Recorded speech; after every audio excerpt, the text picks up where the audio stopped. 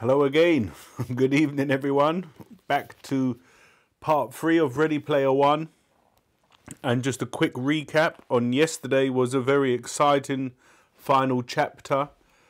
Wade Watts as Parzival went into the metaverse and to the IOI headquarters, Innovative Online Industries, to talk to. Um, oh no, what's his name? Um, Nolan Sorrento. Sorry, little brain fart there. And uh, yeah, no spoilers because I would imagine you've listened to part two in chapter 14. Nolan Sorrento is um, is bribing Parzival, Wade Watts, to show him how to get the copper key and pass the first gate.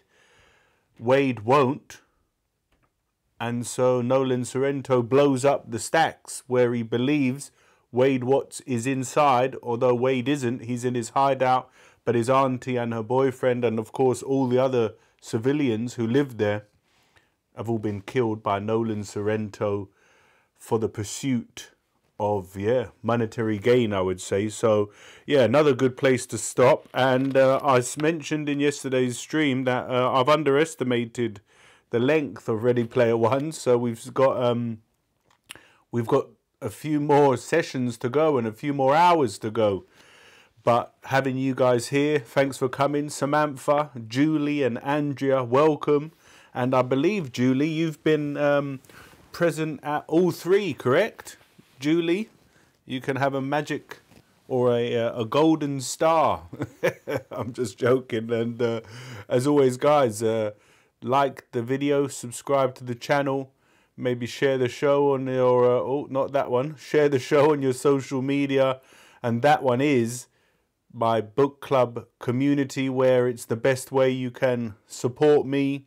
If you'd like to support me further by being here, subscribing and sharing, that's enough. But if you did want to go that one step further, you can become a, a patron over at the Patreon Book Club community. But for now, Julie, fantastic. I'm glad you're enjoying it, and I'm glad that yeah you're looking forward to it because I'm looking forward to it. So that's two of us. It's the rest of them. Right. Anyway, Julie, thank you for being here and for that. You've perked me right up. So thanks, Julie. And let's go. The his stack has just been blown up. Wade Watts he's desperate to now contact H and um, Artemis because he's worried about that um, Nolan Sorrento's gonna try and get them. Chapter 15. I grabbed my Oasis console and powered it on, then pulled on my visor and gloves. As I logged in, my avatar reappeared on Ludus on the hilltop where I'd been sitting prior to my chat room session with Sorrento. The moment my audio kicked in, I heard the ear splitting roar of engines coming from somewhere directly overhead. I stepped out from under the tree and looked up. I saw a squadron of Sixer gunships flying information, zooming south at low altitude, their sensors scanning the surface as they went. I was about to duck back under the tree out of sight when I remembered that all of Ludus was a, P, a no PvP zone. The Sixers couldn't the Sixers couldn't harm me here. Even so, my nerves were still on edge. I continued to scan the sky and quickly spotted two more Sixer gunship squadrons off near the eastern horizon. A moment later, several more squadrons dropped in from orbit to the north and west. It looked like an alien invasion. An icon flashed on my display informing me that I had a new text message from H. Where the hell are you? Call me ASAFP. I tapped his name on my contact list and he answered on the first ring. His avatar's face appeared in my vidfeed window. He was wearing a grim expression. Did you hear the news? he asked. What news? The Sixers are on Ludus, thousands of them, more arriving every minute. They're searching the planet, looking for the tomb. Yeah, I'm on Ludus right now. Sixer gunships everywhere. H scowled. When I find IROC, I'm going to kill him, slowly. Then, when he creates a new avatar, I'm going to hunt him down and kill him again. If that moron had kept his mouth shut, the Sixers never would have thought to look here. Yeah, His forum posts were what tipped them off. Sorrento said so himself. Sorrento? As in Nolan Sorrento? I told him everything that had happened in the past few hours. They blew up your house? Actually, it was a trailer, I said, in a trailer park. They killed a lot of people here, H. It's probably already on the news feeds. I took a deep breath. I'm freaking out. I'm scared. I don't blame you, he said. Thank God you weren't home when it happened. I nodded. I almost never log in from home. Luckily, the Sixers didn't know that. What about your family? It's my aunt's place. She's dead, I think. We we weren't very close. This was a huge understatement, of course. My Aunt Alice had never shown me much kindness, but she still hadn't deserved to die. But most of the wrenching guilt I now felt had to do with Mrs. Gilmore and the knowledge that my actions had gotten her killed. She was one of the sweetest people I'd ever known. I realized that I was sobbing. I muted my audio so H couldn't hear, then took several deep breaths until I got myself under control again. I can't believe this, H growled. Those evil pricks. They're going to pay Z. Count on it. We will make them pay for this. I couldn't see how, but I didn't argue. I knew he was just trying to make me feel better. Where are you right now? H asked. Do you need help? Like a place to stay or something? I can wire you some money if you need it. No, I'm okay, I said. But thanks, man. I really appreciate the offer. De nada, amigo. Listen, did the Sixers send you the same email they sent me? Yeah, thousands of them, but I decided it was best to ignore them. I frowned. I wish I'd been smart enough to do that. Dude, you had no way of knowing they were going to try and kill you. Besides, they already had your home address. If you had ignored their emails, they probably would have set off that bomb anyway. Listen, H. Sorrento said that your school records contained a fake home address and that they don't know where to find you. But he might have been lying. You should leave home, go somewhere safe as soon as possible. Don't worry about me, Z. I stay mobile. Those bastards will never find me. If you say so, I replied, wondering what exactly he meant. But I need to warn Artemis too, and Daito and Shoto. If I can reach them, the Sixers are probably doing everything they can to learn their identities too. That gives me an idea, he said. We should invite all three of them to meet us in the basement later tonight, say around midnight, a private chat room session, just the five of us. My mood brightened at the prospect of seeing Artemis again. Do you think they'll all agree to come? Yeah, if we let them know their lives depend on it, he smirked. And we're going to have the world's top five gunters together in one chat room. Who's going to sit that out? I sent Artemis a short message asking her to meet us in H's private chat room at midnight. She replied just a few minutes later, promising to be there. H told me he had managed to reach Daito and Shoto, and they had both also agreed to attend. The meeting was set. I didn't feel like being alone, so I logged into the basement about an hour early. H was already there, surfing the news feeds on the ancient RCA television. Without saying a word, he got up and gave me a hug. Even though I couldn't actually feel it, I found it surprisingly comforting. Then we both sat down and watched the news coverage together while we waited for the others to arrive. Every channel was airing Oasis footage showing the hoarders, the hordes of Sixer spacecraft and troops that were currently arriving on Ludus. It was easy for everyone to guess why they were there, and so now every gunter in the simulation was also headed for Ludus. Transport terminals all over the planet were jammed with incoming avatars. So much for keeping the tomb's location a secret, I said, shaking my head. It was bound to leak out eventually, H said, shutting off the TV. I just didn't think it would happen this fast. We both heard an entrance alert chime as Artemis materialized at the top of the staircase. She was wearing the same outfit she'd had on the night we met. She waved to me as she descended the steps. I waved back, then made introductions. H, meet Artemis. Artemis, this is my best friend H. Pleasure to meet you, Artemis said, extended her right hand. H shook it. Likewise. He flashed his Cheshire grin. Thanks for coming. Are you kidding? How could I miss it? The very first meeting of the High Five. The High Five, I said. Yeah, H said. That's what they're calling us on all the message boards now. We hold the top high five high score slots on the scoreboard. So we're the High Five. Right, I said, at least for the time being. Artemis grinned at that, then turned and began to wander around the basement, admiring the 80s decor. H, this is by far the coolest chat room I've ever seen. Thank you, he bowed his head, kind of you to say. She stopped to browse through the shelf of role-playing game supplements. You've created Morrow's Basement perfectly, every last detail. I want to live here. You've got a permanent spot on the guest list. Log in and hang out any time. Really? she said, clearly delighted. Thank you, I will. You're the man, H. Yes, he said, smiling. It's true, I am. They really seemed to be hitting it off, and it was making me crazy jealous. I didn't want Artemis to like H, or vice versa. I wanted her all to myself. Dato and Daito and Shoto logged in a moment later, appearing simultaneously at the top of the basement staircase. Daito was the taller of the two and appeared to be in his late teens. Shoto was a foot taller and looked much younger, maybe about 13. Both avatars looked Japanese and they bore a striking resemblance to one another, like snapshots of the same young man taken five years apart. They wore matching suits of traditional samurai armor and each had both a short wakizashi and a longer katana strapped to his belt.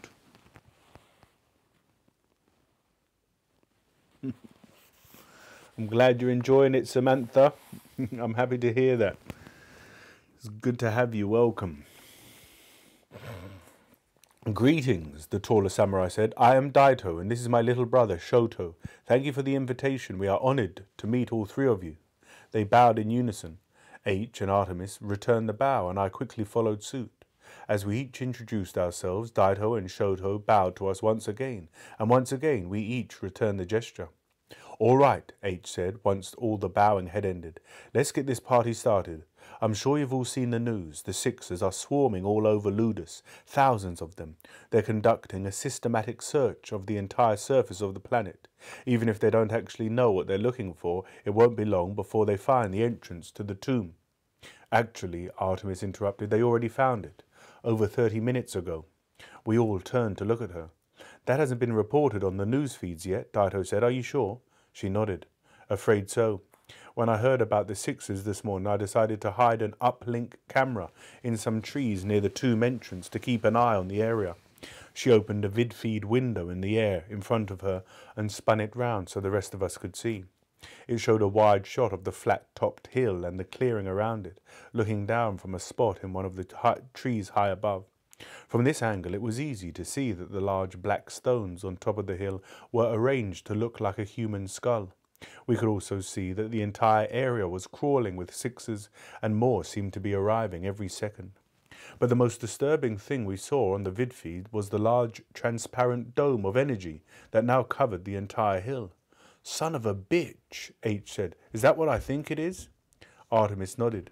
A force field, the Sixers installed it just after the first of them arrived, so so from here on out, Daito said, any gunter who finds the tomb won't be able to get inside, not unless they can somehow get through that force field. Actually, they've put up two force fields, Artemis said, a small field and a larger field over it. They lower them in sequence whenever they want to let more uh, Sixers enter the tomb, like an airlock. She pointed to the window. Watch, they're doing it now. A squadron of Sixers marched down the loading ramp of a gunship parked nearby. They were all lugging equipment containers. As they approached the outer force field, it vanished, revealing a smaller domed field inside the first. As soon as the squadron reached the wall of the inner force field, the outer field reappeared. A second later, the inner force field was dropped, allowing the Sixers to enter the tomb. There was a long silence while we all contemplated this new development. I suppose it could be worse, H said finally. If the tomb were in a PvP zone, those arseholes would already have laser cannons and robot sentries mounted everywhere to vaporize anyone who approached the area. He was right. Since Ludus was a safe zone, the Sixers couldn't harm Gunters who approached the tomb. But there was nothing to stop them from erecting a force field to keep them out, so that was exactly what they'd done. The Sixers had obviously been planning for this moment for some time now. Artemis said, closing her vidfeed window. They won't be able to keep everyone out for very long, H said.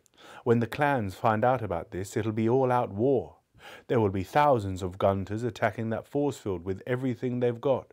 RPGs, fireballs, cluster bombs, nukes. It's going to get ugly. They'll return they'll turn that force field into a wasteland. Yeah, but in the meantime, six uh, avatars will be farming the copper key and then filling, filing their avatars through the first gate, one after the other, in a freaking conga line. But how can they do this? Shoto asked, his young voice brimming with rage. He looked to his brother. It's not fair. They're not playing fair. They don't have to. There are no laws in the oasis, little brother, Daito said. The Sixers can do whatever they please. They won't stop until someone stops them. The Sixers have no honor, Shoto said, scowling. You guys don't know the half of it, H said. That's why Parzival and I asked you all here. He turned to me. Z, do you want to tell them what happened? I nodded and turned to the others. First, I told them about the email I'd received from IOI. They'd all received the same invitation, but had wisely ignored it. Then I related the details of my chat room session with Sorrento, doing my best not to leave anything out. Finally, I told them how our conversation had ended with a bomb detonating at my home address. By the time I'd finished, their avatars all wore looks of stunned disbelief. Jesus, Artemis whispered. No joke. They tried to kill you. Yeah, they would have succeeded too if I'd been at home. I was just lucky. Now you all know how far the Sixers are willing to go to stop us from beating them to the egg, H said. If they're able to locate any one of us, we're dead meat. I nodded. So you should all take precautions to protect yourselves and your identities, I said, if you haven't already. They all nodded. There was another long silence. There's still one thing I don't understand, Artemis said a moment later. How did the Sixers know to look for the tomb on Ludus? Did someone tip them off? She glanced around at each of us, but there was no hint of accusation in her voice. They must have seen the rumours about Parzival and H that were posted on all of the Gunter message boards, Shoto said. That's how we knew to look there.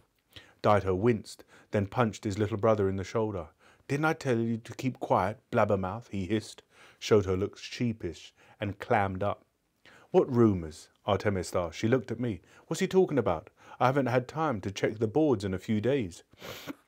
Several posts were made by Gunters who claimed to know Parzival and H, saying they were both students on Ludus. He turned to H and me.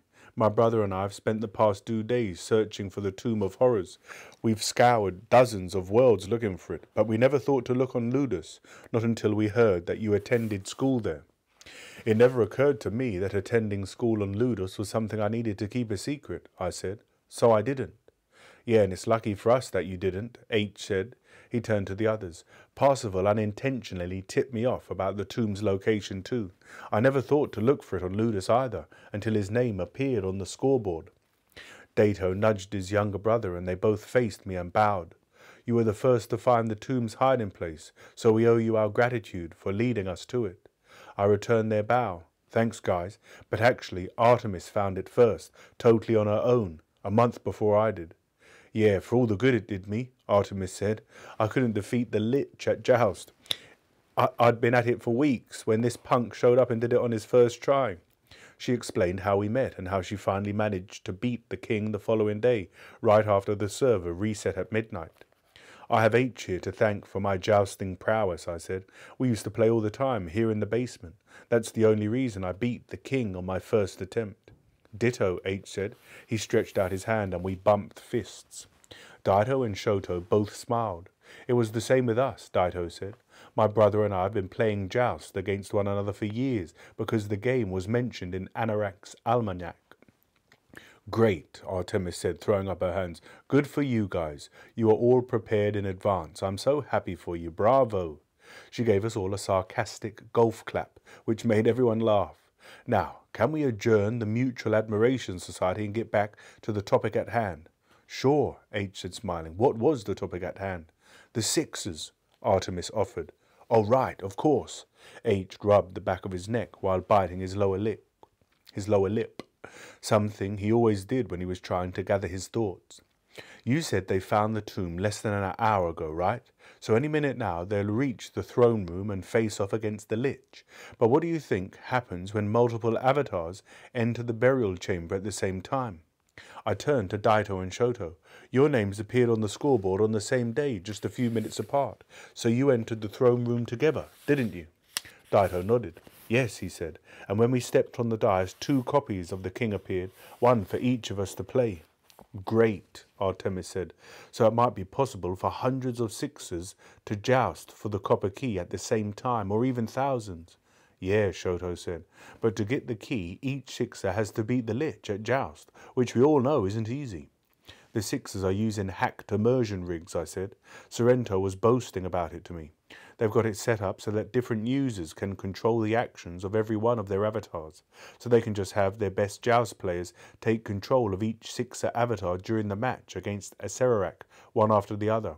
Cheating bastards, H repeated. The Sixers have no honour, Daito said, shaking his head.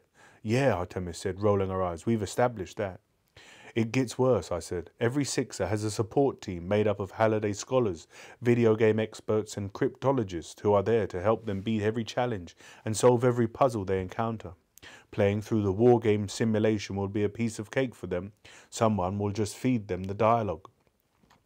We can't, Artemis said. Once they have the copper key, they'll probably locate the first gate just as quickly as we all did. Oh, sorry, no, I missed a bit. Unbelievable, H muttered. How are we supposed to compete with that? We can't, Artemis said. Once they have the copper key, they'll probably locate the first gate just as quickly as we all did. It won't take them very long to catch up with us. And once they have the riddle about the jade key, they'll have their eggheads working round the clock to decipher it. If they find the jade key's hiding place before we do, they'll barricade it too, I said. And then the five of us will be in the same boat everyone else is right now. Artemis nodded. H kicked the coffee table in frustration. This isn't even remotely fair, he said. The Sixers have a huge advantage over all of us. They've got an endless supply of money, weapons, vehicles, and avatars. There are thousands of them all working together. Right, I said, and each of us is on our own. Well, except for you two. I nodded at Daito and Shito, or Shoto. But you know what I mean. They've got us outnumbered and outgunned, and that isn't going to change any time soon. What are you suggesting? Suggesting, Daito asked. He suddenly sounded uneasy. I'm not suggesting anything, I said. I'm just stating the facts as I see them. Good, Daito replied, because it sounded like you were about to propose some sort of alliance between the five of us. H studied him carefully. So, would that be such a terrible idea? Yes, it would, Daito said curtly. My brother and I hunt alone. We don't want or need your help. Oh, really? H said. A second ago you admitting needed Parzival's help to find the Tomb of Horrors. Daito's eyes narrowed. We would have found it on our own eventually. Right, H said. It probably would have only taken you another five years. Come on, H, I said, stepping between them. This isn't helping. H and Daito glared at each other in silence, while Shoto stared up at his brother uncertainly. Artemis just stu stood back and watched, looking somewhat amused.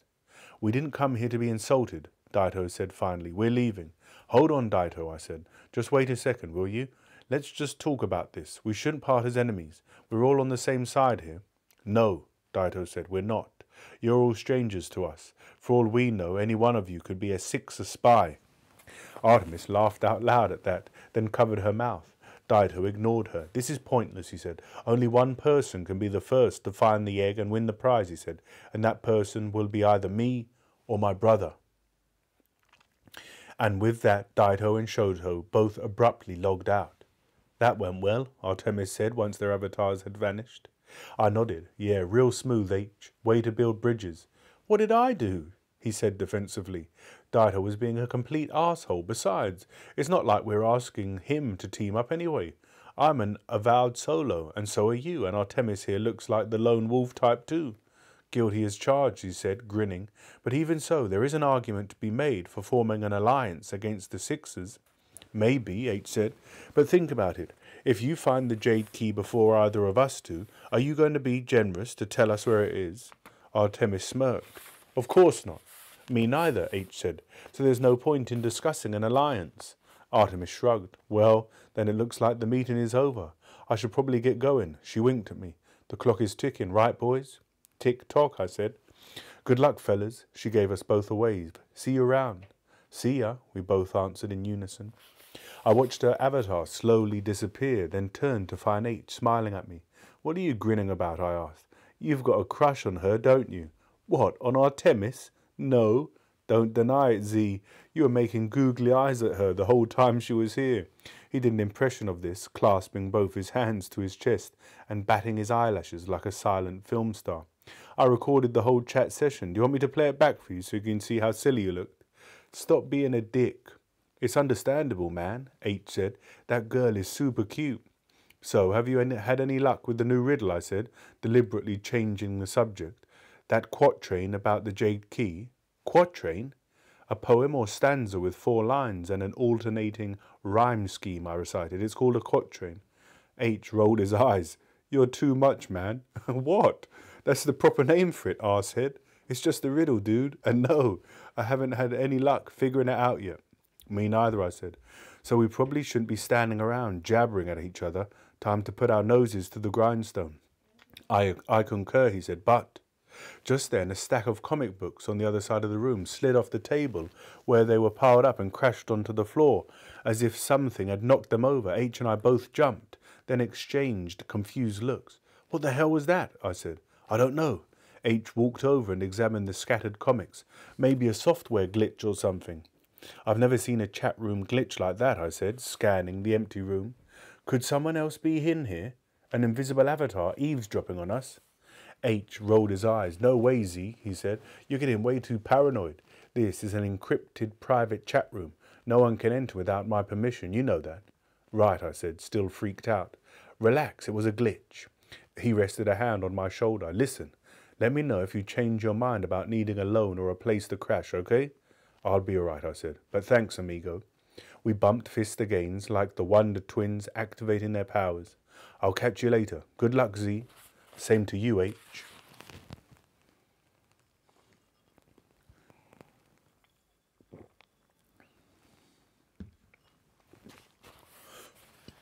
Chapter 16 A few hours later, the remaining slots on the scoreboard began to fill up, one after another in rapid succession, not with avatar names, but with IOI employee numbers. Each would appear with a score of 5,000 points which now appeared to be the fixed value for obtaining the copper key. Then the score would jump by another 100,000 points a few hours later, once that sixer had cleared the first gate. By the end of the day, the scoreboard looked like this. Parzival, Artemis, H, Daito, Shoto, and then all of the IOI employee numbers.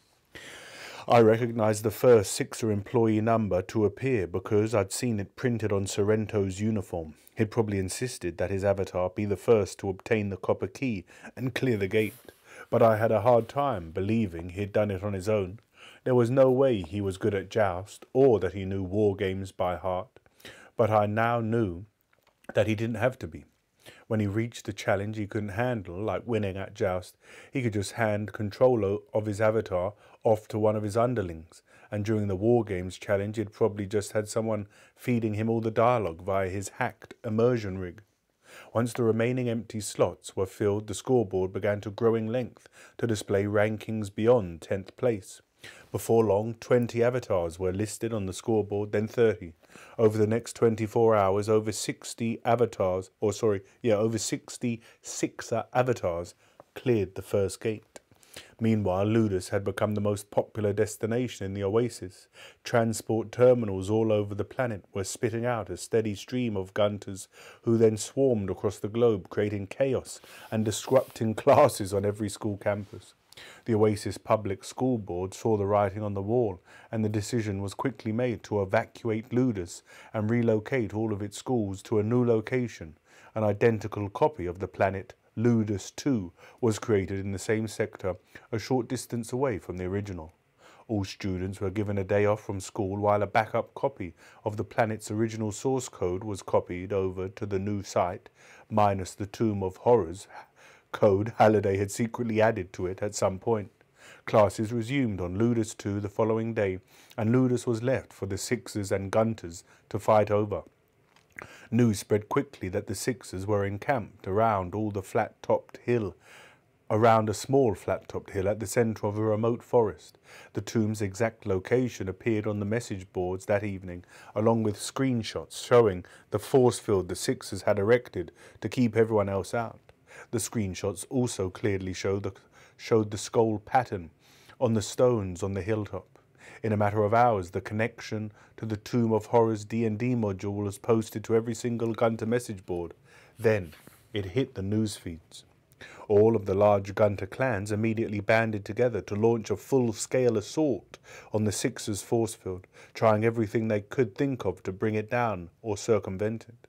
The Sixers had installed teleportation disruptors which prevented anyone from transporting inside the force field via technological means. They had also stationed a team of high level wizards around the tomb. These magic users cast spells around the clocks around the clock, keeping the entire area encased in a temporary null magic zone. This prevented the force field from being bypassed by any magical means. The clans began to bombard the outer force field with rockets, missiles, nukes, and harsh language. They laid siege to the tomb all night, but the following morning both force fields remained intact. In desperation, the clans decided to break out the heavy artillery. They pooled their resources and purchased two very expensive, very powerful, powerful antimatter bombs on eBay. They detonated both of them in sequence just a few seconds apart. The first bomb took down the outer shield, and the second bomb finished the job. The moment the second force field went down, thousands of gunters, all unarmed by the bomb blast due to their the no PvP zone, swarmed into the tomb and clogged the corridors of the dungeon below. Soon thousands of gunters and sixers had crammed into the burial chamber, all ready to challenge the Lich King to a game of joust. Multiple copies of the king appeared, one for every avatar who set foot on the dais. Ninety-five percent of the gunters who challenged him lost and were then killed, but a few gunters were successful, and at the bottom of the scoreboard list, after the high five and the dozens of IOI employee numbers, new avatar names began to appear. Within a few days, the list of avatars on the scoreboard was over a hundred names long. Now that the area was full of gunters, it became impossible for the Sixers to put their force field back in operation. Gunters were mobbing them and destroying their ships and equipment on site, so the Sixers gave up on their barricade, but they continued to send avatars into the Tomb of Horrors to farm copies of the Copper Key. No one could do anything to stop them. The day after the explosion in the stacks, there was a brief story about it in one of the local news feeds. They showed a video clip of volunteers sifting through the wreckage for human remains. What they did find couldn't be identified. It seemed that the Sixers had also planted a large amount of drug manufacturing equipment and chemicals at the scene to make it look like a meth lab in one of the trailers had exploded. It worked like a charm. The cops didn't bother to investigate any further. The stacks were so dense around the pile of crushed and charred trailers that it was too dangerous to try to clear them out with one of the old construction cranes. They just left the wreckage where it was, to slowly rust into the, into the earth. As soon as the first endorsement payment arrived in my account, I bought a one-way bus ticket to Columbus, Ohio, set to depart at 8 in the following morning. I paid extra for a first class seat, which came with a comfier chair and a high bandwidth uplink jack. I planned to spend most of the long ride east logged into the oasis. Once my trip was booked, I inventoried everything in my hideout and packed the items I wanted to take with me in an old rucksack. My school issued Oasis console, visor, and gloves, my dog eared printout of Anorak's almanac, my Grail diary, some clothes, my laptop. Everything else I left behind. When it got dark, I climbed out of the van, locked it, and hurled the keys off into the junk pile. Then I hoisted the rucksack and walked out of the stacks for the last time. I didn't look back. I kept to busy streets and managed to avoid getting mugged on the way to the bus terminal. A battered customer service kiosk, kiosk stood just inside the door, and after a quick retinal scan, it spat out my ticket. I sat by the gate reading my copy of the almanac until it was time to board the bus. It was a double decker with armor plating, bulletproof windows, and solar panels on the roof. A rolling fortress. I had a window seat, two rows behind the driver, who was encased in bulletproof plexiglass box.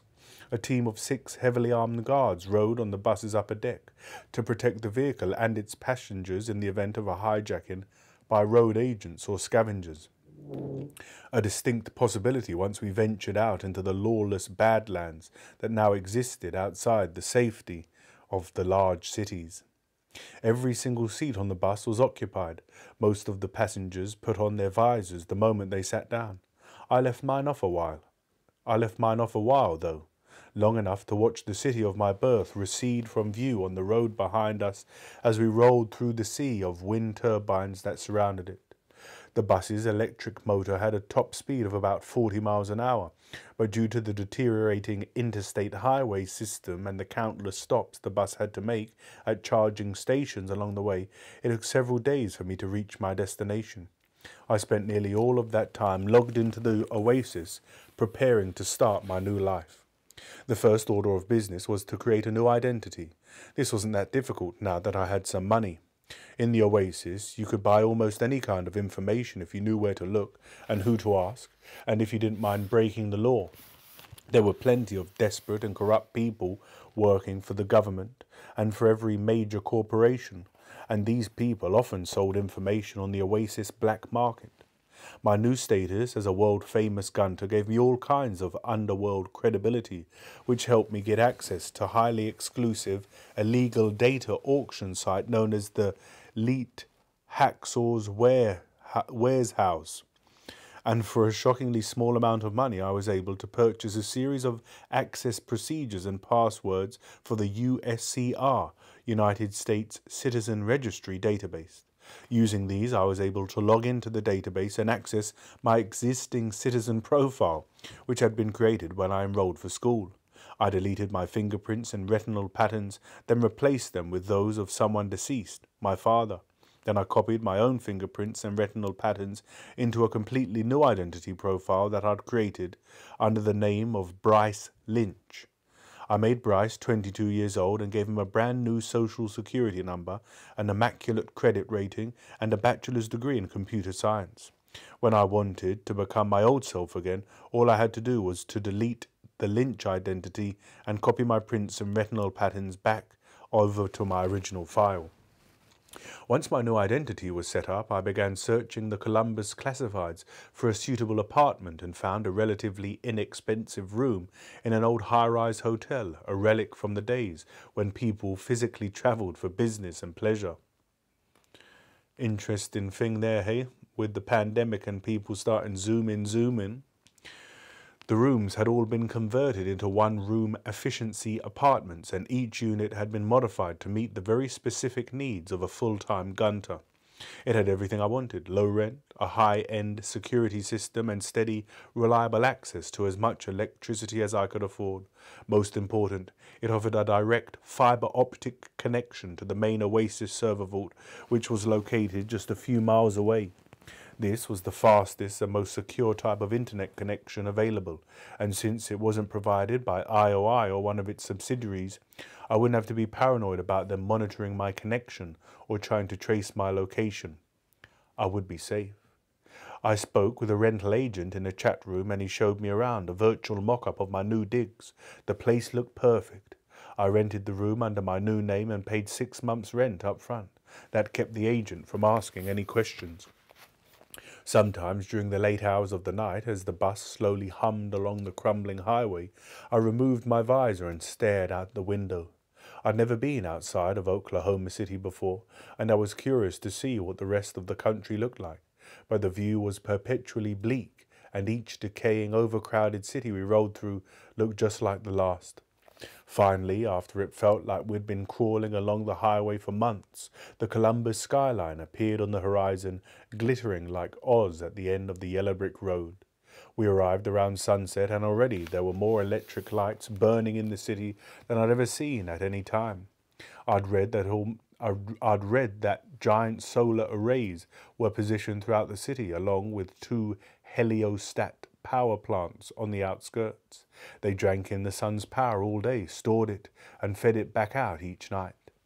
As we pulled into the Columbus bus terminal, my Oasis connection cut out. I pulled off my visor and filed off the bus, with the other passengers, the reality of my situation finally beginning to hit home. I was now a fugitive, living under an assumed name. Powerful people were out looking for me, people who wanted me dead. As I stepped off the bus, I suddenly felt as though a heavy weight were resting on my chest. I was having a hard time breathing. Maybe I was having a panic attack. I forced myself to take deep breaths and try to calm down. All I had to do was to get to my new apartment, set up my rig, and log back into the oasis. Then everything would be all right. I'd be back in familiar surroundings. I would be safe. I hailed an autocab and entered my new address on the touch screen. The synthesized voice of the cab's computer told me the drive would take an estimated 32 minutes with the current traffic conditions. During the ride, I stared out the window at the dark city streets. I still felt light-headed and anxious. I kept glancing at the meter to see how much farther we had to go. Finally, the cab pulled up in front of my new apartment building, a slate grey monolith on the banks of the city of the Scioto, just at the edge of the Twin Rivers ghetto. I noticed a discoloured outline on the building's facade, where the Hilton logo used to be back when the place had been a hotel. I thumbed my fare and climbed out of the cab. Then I took one last look around, inhaled one final breath of fresh air, and carried my bag through the front door and into the lobby. When I stepped inside the security checkpoint cage, my fingers, prints, and retinal patterns were scanned, and my new name flashed on the monitor. A green light lit up, and the cage door slid open, allowing me to continue to the elevator. Elevators. My apartment was on the second floor, number 4211. The security lock mounted outside required another retinal scan. Then the door slid open and the internal interior light switched on. There was no furniture in the cube-shaped room and only one window. I stepped inside, closed the door and locked it behind me. Then I made a silent vow not to go outside again until I completed my quest. I would abandon the real world altogether until I found the egg. Hello there, Chef Key. Chef Key the poet. And what what is Saki? Tell me what Saki is. Uh, you've mentioned it a few times, but I've never heard of it. Tell us what Saki is.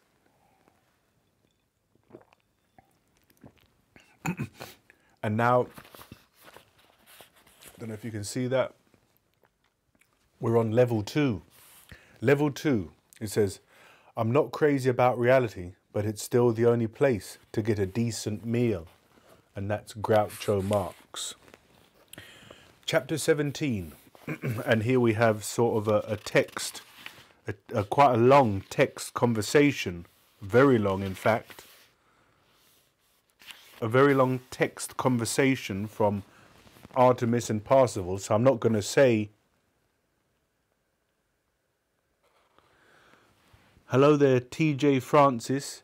Chapter 17 we've just started level two. Um, okay, I'll, I'll look into it, Chef Key, because we like um, short stories here at Book Club. So, although we ain't been reading many recently with the long stories.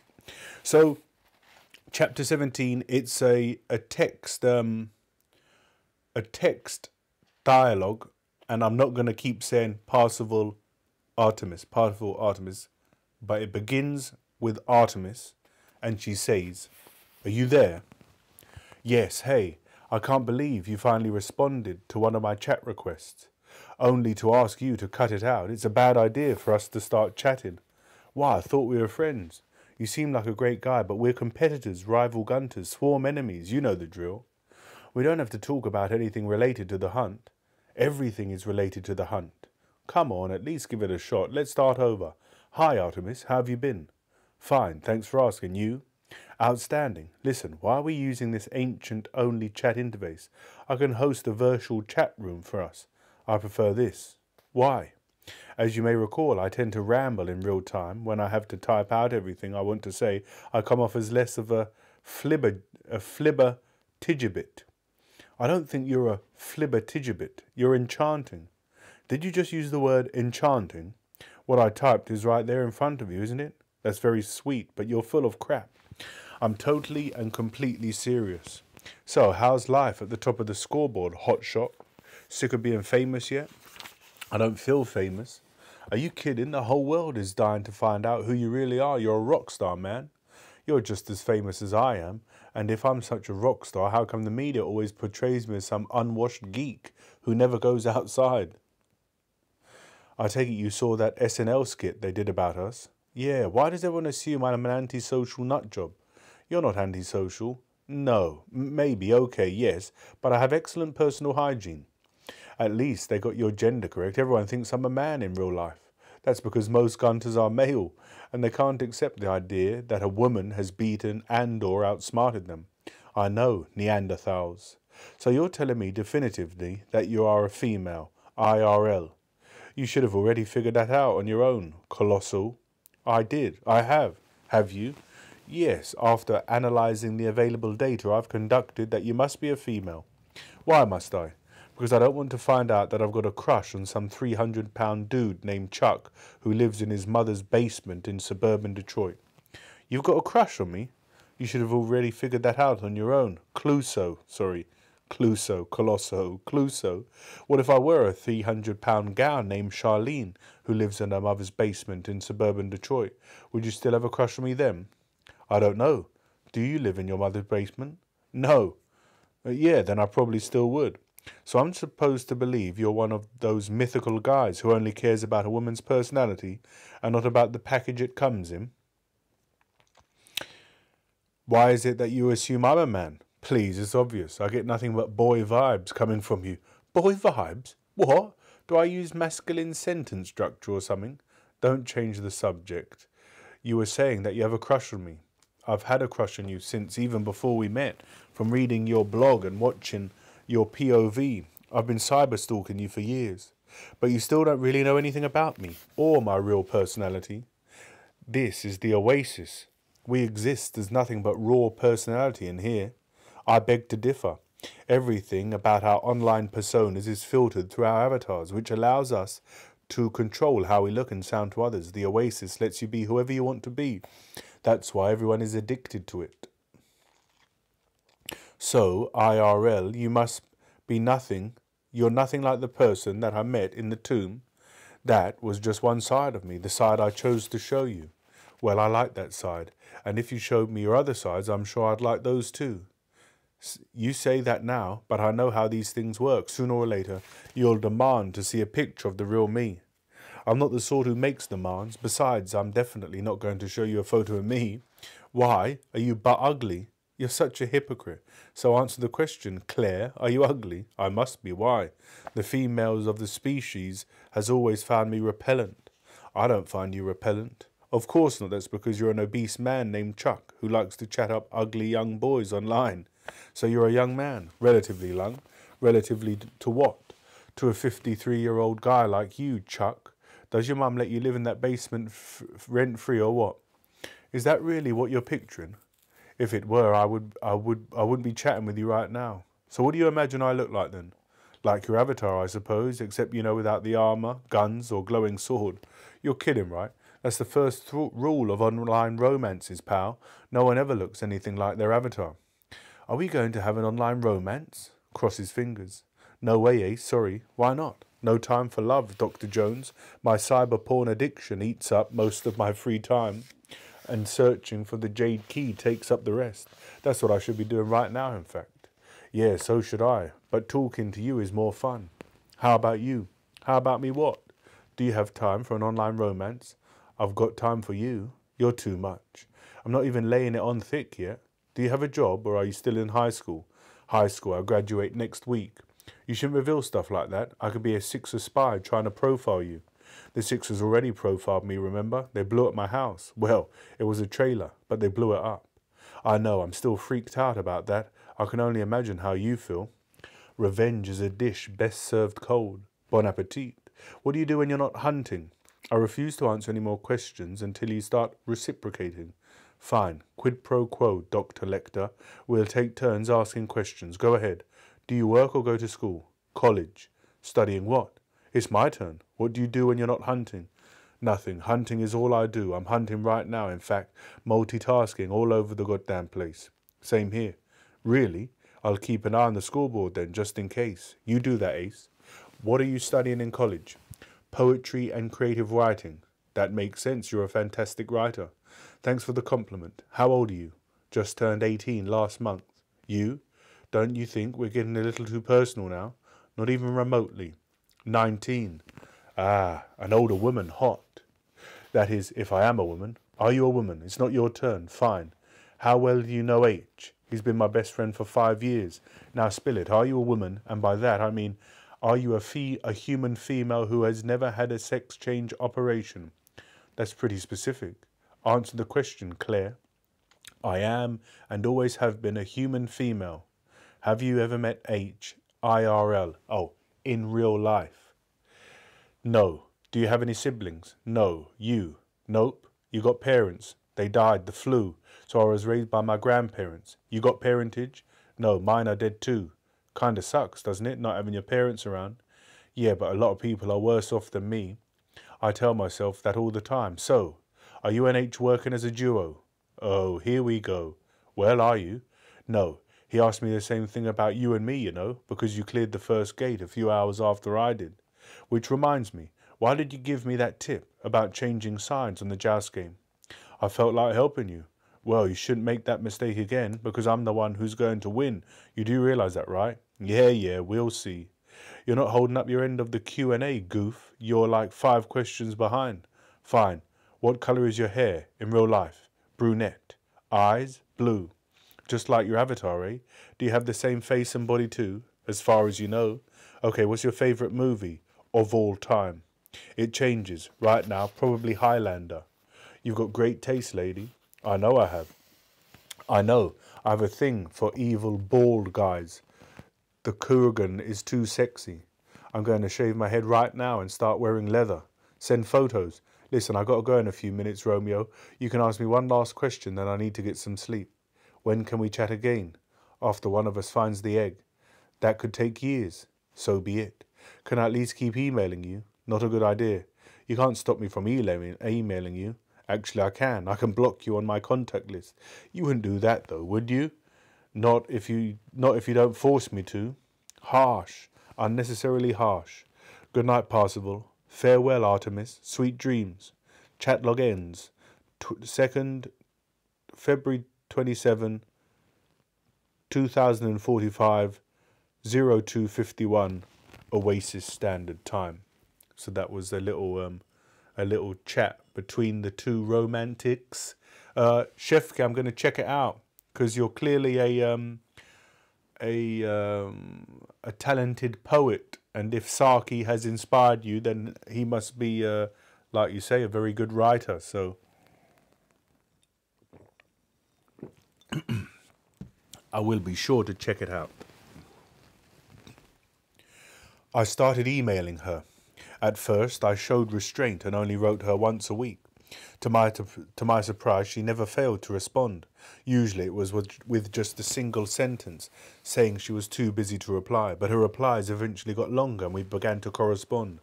A few times a week at first, then, as our emails grew longer and more personal, we started writing each other at least once a day, sometimes more. Whenever an email from her arrived in my inbox, I dropped everything to read it.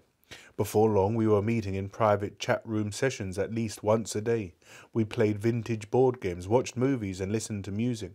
We talked for hours, long rambling conversations about everything under the sun. Spending time with her was intoxicating. We seemed to have everything in common.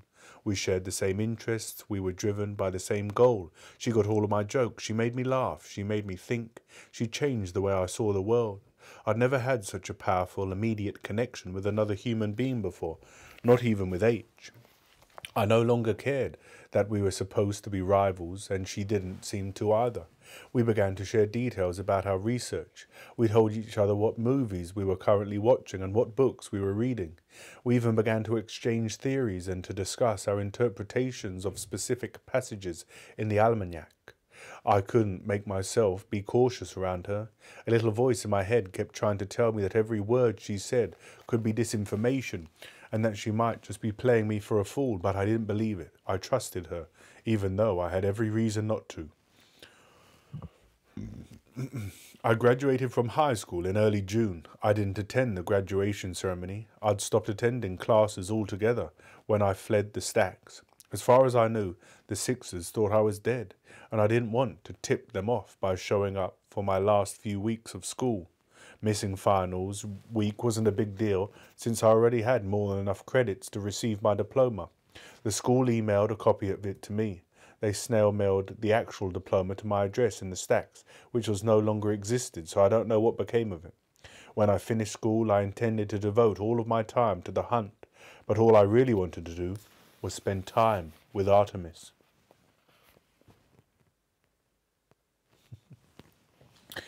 When I wasn't hanging out with my new online pseudo girlfriend, I devoted the rest of my time to leveling up my avatar.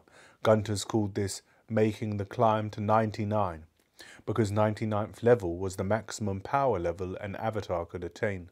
Artemis and H had both recently done it, and I felt compelled to catch up. It actually didn't take me very long. I now had nothing but free time, and I had the money and the means to fully explore the oasis. So I began to compete every quest I could complete, every quest I could find, sometimes jumping five or six levels in one day. I became a split class warrior mage. As my stats continued to increase, I honed my avatar's combat and spell casting abilities while collecting a wide array of powerful weapons, magic items, and vehicles.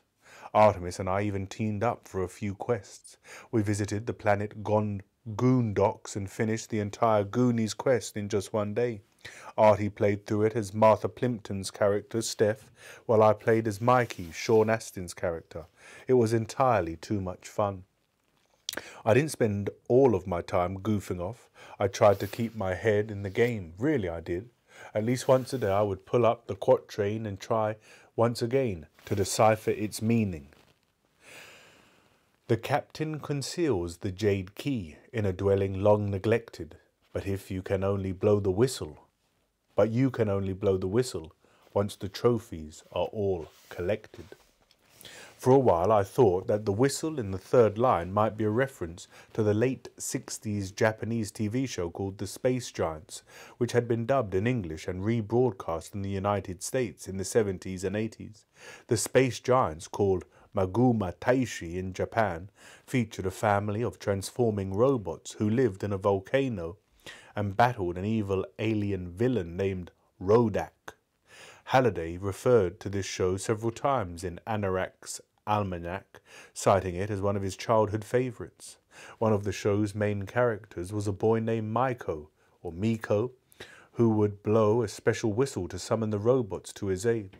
I watched all 52 ultra cheesy episodes of The Space Giants back to back while wolfing down corn chips and taking notes. But when the viewing marathon was over, I still wasn't any closer to understanding the quatrain's meaning. I'd hit another dead end. I decided that Halliday must be referring to some other whistle. Then, one Saturday morning, I finally made a small breakthrough. I was watching a collection of vintage 80s cereal commercials when I paused to wonder why cereal manufacturers no longer included toy prizes inside every box. It was a tragedy, in my opinion, another sign that civilization was going straight down the tubes. I was still pondering this when an old Captain Crunch commercial came on, and that was when I made a connection between the first and third lines of the quatrain. The captain conceals the jade key, but you can only blow the whistle. Halliday was a Yes, I've I've already got uh, O. Henry chef key, so I have a collection of O. Henry. So maybe Saki's next then. Halliday was alluding to a famous 70s hacker named John Draper, better known by the alias Captain Crunch.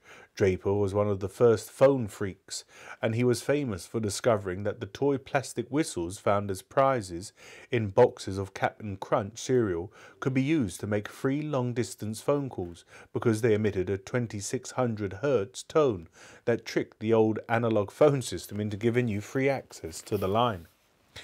The Cap the captain conceals the jade key. That had to be it. The captain was Captain Crunch, and the whistle was the famous toy plastic whistle of phone phreak lore. Maybe the jade key was disguised as one of those toy plastic whistles, and it was hidden in a box of Captain Crunch cereal. But where was that cereal box hidden? In a dwelling long neglected.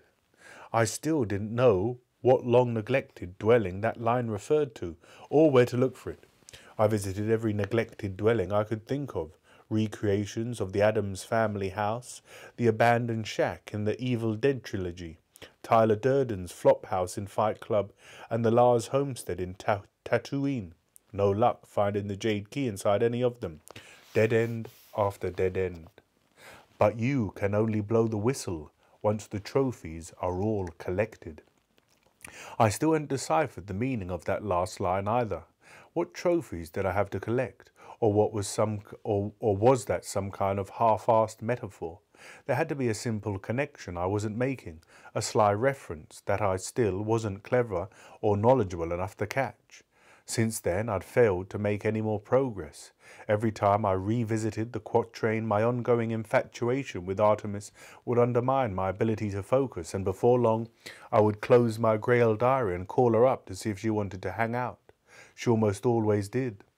I convinced myself that it was all right to slack off a bit, because no one else seemed to be making any progress in their search for the Jade Key. The scoreboard remained unchanged. Everyone else seemed to be just as stumped as I was. As the weeks continued to pass, Artemis and I spent more and more time together.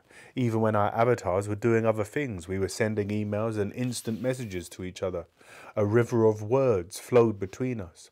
I wanted more than anything to meet her in the real world, face to face, but I didn't tell her this. I was certain she had strong feelings for me, but she also kept me at a distance.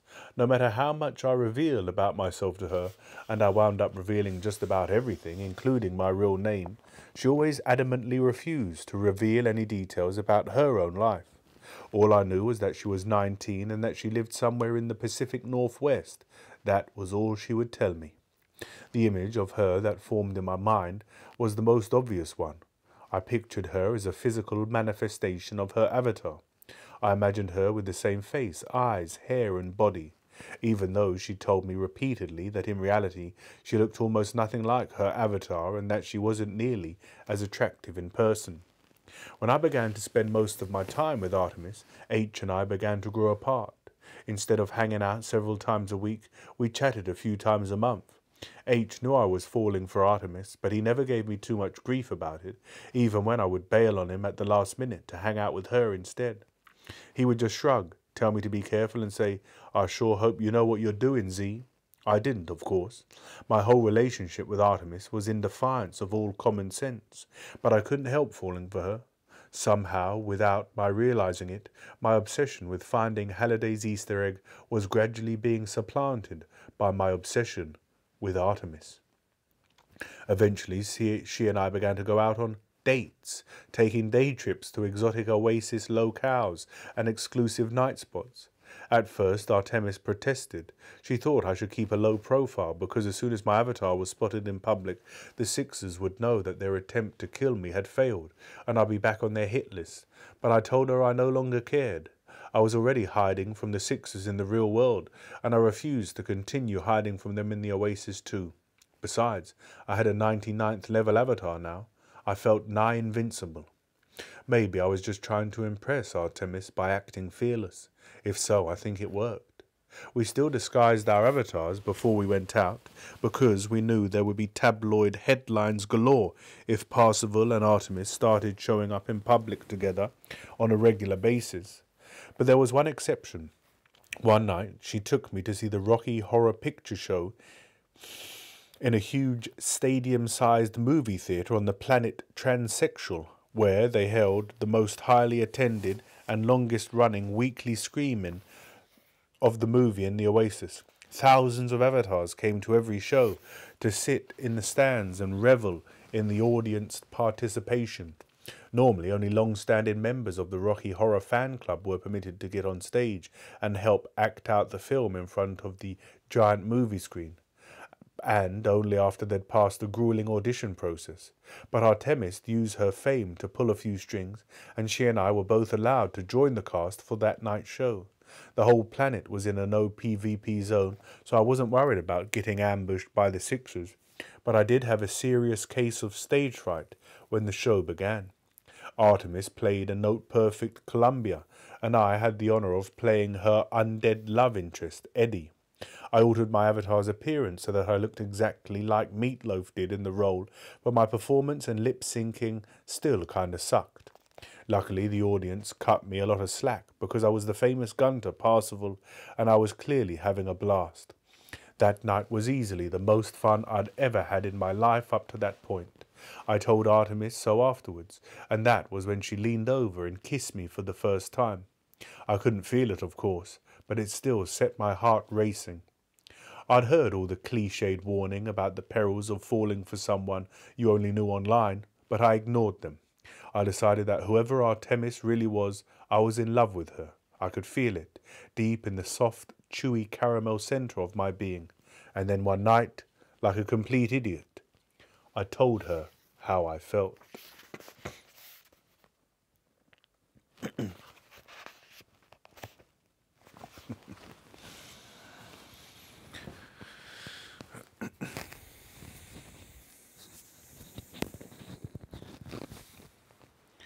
Getting interesting, guys. The storyline's heating up. So.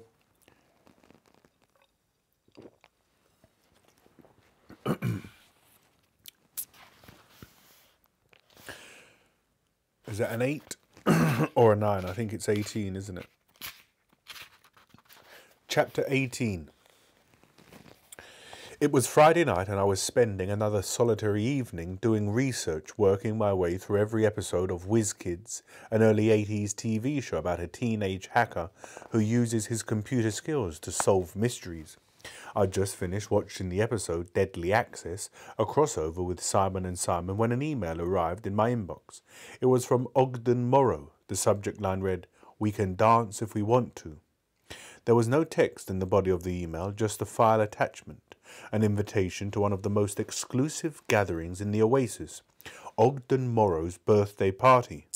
In the real world, Morrow almost never made public appearances, and in the Oasis he came out of hiding only once a year to host this event. The invitation featured a photo of Morrow's world famous avatar, the great and powerful Og, the grey bearded wizard was hunched over an elaborate DJ mixing board, one headphone pressed to his ear, biting his lower lip in auditory ecstasy as his fingers scratched ancient vinyl on a set of silver turntables. His record crate bore a Don't Panic sticker and an Anti Sixer logo, a yellow number six with a red circle and a slash over it. The text at the bottom read, Ogden Morrow's 80s dance party in celebration of his 73rd birthday tonight, 10 p.m. Oasis Standard Time at the Distracted Globe. Admit one. I was flabbergasted. Ogden Morrow had actually taken the time to invite me to his birthday party. It felt like the greatest honour I'd ever received. I called Artemis, and she confirmed that she had received the same email.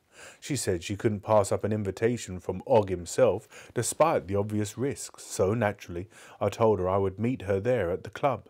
It was the only way I could avoid looking like a total wuss. I knew that if Og had invited the two of us, he'd probably also invited the other members of the High Five.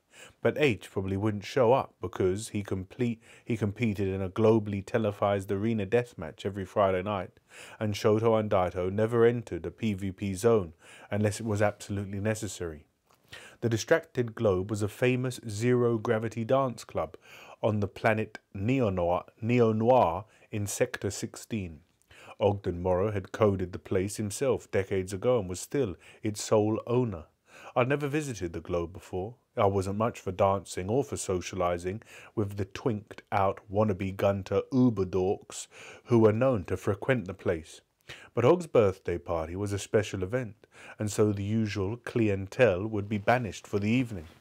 Tonight, the club would be packed with celebrities, movie stars, musicians, and at least two members of the High Five.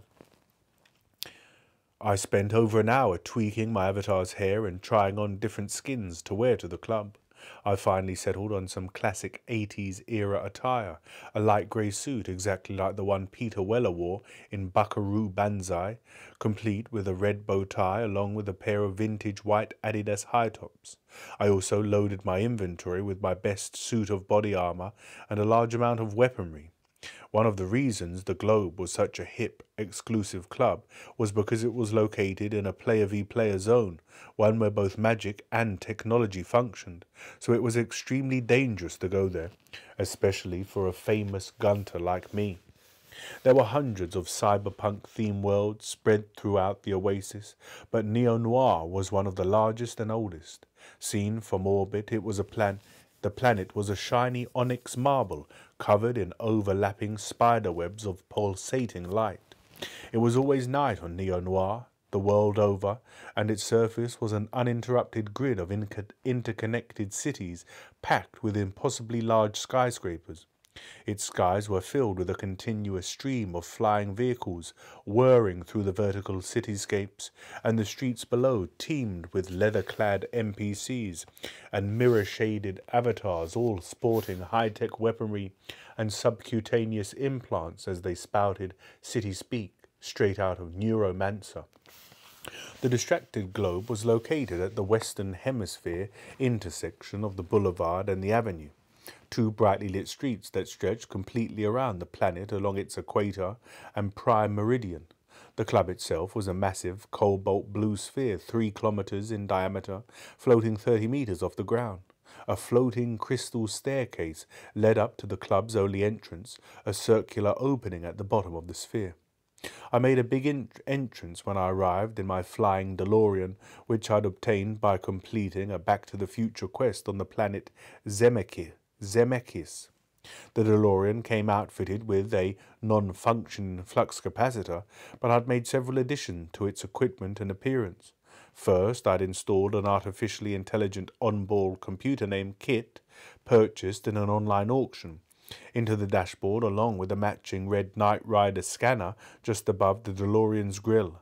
Then I'd outfitted the car with an oscillation overthruster, a device that allowed it to travel through solid matter. Finally, to complete my 80s super vehicle theme, I'd slapped a Ghostbusters logo on each of the DeLorean gullwing doors, then added personalized plates that read Ecto 88. I'd had it only a few weeks, but now, but by, sorry.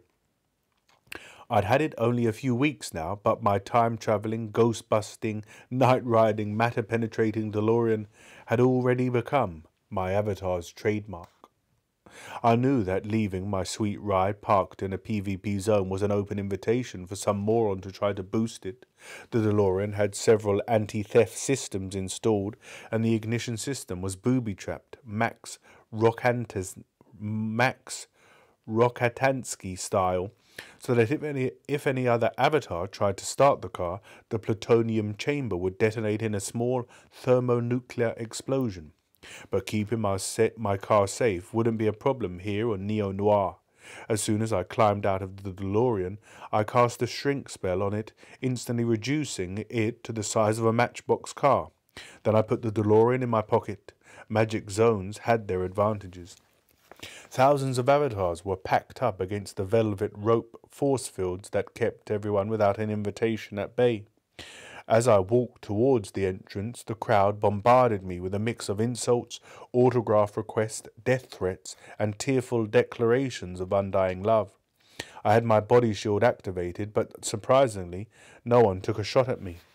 I flashed the cyborg doorman my invitation, then mounted the long crystal staircase leading up into the club. Entering the distracted globe was more than a little disorientating or disorienting. The inside of the giant sphere was completely hollow, and its curved interior surface served as the club's bar and lounge area. The moment you passed through the entrance, the law of gravity changed. No matter where you walked, your avatar's feet always adhered to the interior of the sphere, so you could walk in a straight line up to the top of the club, then back down the other side, ending right back where you started. The huge open space in the center of the sphere served as the club's zero gravity dance floor. You reached it simply by jumping off the ground, like Superman taking flight, and then swimming through the air into the spherical zero G groove zone. As I stepped through the entrance, I glanced up, or in the direction that was currently up to me at the moment, and took a long look round. The place was packed. Hundreds of avatars milled around like ants crawling around the inside of a giant balloon. Others were already out on the dance floor, spinning, flying, twisting, and tumbling in time with the music, which thumped out of floating spherical speakers that drifted throughout the club. In the middle of all the dancers, a large clear bubble was suspended in space at the absolute center of the club, this was the booth where the DJ stood, surrounded by turntables, mixers, decks, and dials. At the center of all that was the opening DJ R2D2 hard at work, using his various robotic arms to work the turntables. I recognized the tune he was playing the 88 remix of the New Order's Blue Monday with a lot of Star Wars droid sound samples mixed in. As I made my way to the nearest bar, the avatars I passed all stopped to stare and point in my direction. I didn't pay them much notice because I was busy scanning the club for Artemis. When I reached the bar, I ordered a pan galactic gargle blaster from the female Klingon bartender and downed half of it. Then I grinned as R2 queued up another classic 80s tune, Union of the Snake. I recited mostly out of habit, Duran Duran, 1983. Not bad, Ace, said a familiar voice, speaking just loud enough to be heard over the music. I turned to see Artemis standing behind me. She was wearing evening attire, a gunmetal blue dress that looked like it was spray painted on. Her avatar's dark hair was styled in a page boy cut, perfectly framing her gorgeous face. She looked devastating. She shouted at the barkeep, Glenmorangie on the rocks. I smiled to myself. Connor MacLeod's favourite drink. Man, did I love this girl. She winked at me as her drink appeared. Then she clinked her glass against mine and downed its contents in one swallow. The chattering of the avatars around us grew in volume. Word that Parzival and Artemis were here, chatting each other up at the bar, was already spreading through the entire club. Artemis glanced up at the dance floor, then back at me. So how about it, Percy? she said. Feel like cutting a rug? I scowled. Not if you keep calling me Percy. She laughed. Just then the current song ended, and the club grew silent. All eyes turned upwards towards the DJ booth where R2D2 was currently dissolving in a shower of light, like someone beaming out in an original Star Trek episode. Then a huge cheer went up as a familiar grey-haired avatar beamed in, appearing behind the turntables. It was Og. Hundreds of vidfeed windows materialized in the air all over the club, each displayed a live close-up image of Og in the booth so that everyone could see his avatar clearly. The old wizard was wearing baggy jeans, sandals, and a faded Star Trek The Next Generation t-shirt. He waved to the assembled, then queued up his first track, a dance remix of Rebel Yell by Billy Idol. A cheer swept across the dance floor. I love this song, Artemis shouted. Her eyes darted up to the dance floor. I looked at her uncertain uncertainly. What's wrong? she said, with mock sympathy. Can't the boy dance? She locked into the beat, bobbing her head, gyrating her hips. Then she pushed off from the floor with both feet and began to float upward, drifting towards the groove zone. I stared up at her, temporarily frozen, mustering my, my courage. All right, I muttered to myself. What the hell? I bent my knees and pushed off hard from the floor. My avatar took flight, drifting upward and sliding alongside Artemis. The avatars, who were already on the dance floor, moved aside to clear a path for us, a tunnel leading to the center of the dance floor. I could see Og hovering in his bubble, just the short distance above us. He was spinning around like a dervish, remixing the song on the fly while simultaneously adjusting the gravity vortex of the dance floor so that he was actually spinning the club itself like an ancient vinyl disc. Artemis winked at me, and then her legs melted together to form a mermaid's tail. She flapped her new tail fin once and shot ahead of me, her body undulating and thrusting in time with the machine gun beat as she swam through the air. Then she span back around to face me, suspended and floating, smiling and holding out her hand, beckoning me to join her. Her hair floated in a halo round her head, like she was under water. Excuse me. When I reached her, she took my hand. As she did, her mermaid tail vanished and her legs reappeared, whirling and scissoring to the beat. Not trusting my instincts any further, I loaded up a piece of high-end avatar dance software called Travolta, which I'd downloaded and tested earlier that evening. The program took control of Parzival's movements, syncing them up with the music, and all four of my limbs were transported into undulating cosine waves. Just like that, I became a dancing fool. Artemis's eyes lit up in surprise and delight, and she began to mirror my movements, the two of us orbiting each other like accelerated electrons. Then Artemis began shape-shifting. Her Her avatar lost its human form and dissolved into a pulsing, amorphous blob that changed its size and colour in sync with the music. I selected the mirror partner option on my dance software and began to do the same. My avatar's limbs and torso began to flow and spin like taffy encircling Artemis, while strange colour patterns flowed and shifted across my skin. I looked like Plastic Man if he were tripping out of his mind on LSD. Then everyone else on the dance floor also began to shapeshift, melting into prismatic blobs of light. Soon the centre of the club looked like some otherworldly lava lamp. When the song ended, Og took a bow, then queued up a slow song, Time After Time, by Cyndi Lauper. All around us, avatars began to pair up. I gave Artemis a curtly bow and stretched out my hand. She smiled and took it. I pulled her close and we began to drift together. Og set the dance floor's gravity on a counterclockwise spin, making all of our avatars slowly rotate around the club's invisible central axis, like motes of dust inside, floating inside a snow globe. And then, before, and then, before I could stop myself, the words just came out. I'm in love with you, Artie. She didn't seem to respond at first. She just looked at me in shock as our avatars continued to drift in orbit around each other, moving on autopilot. Then she switched to a private voice channel so no one could eavesdrop on our conversation.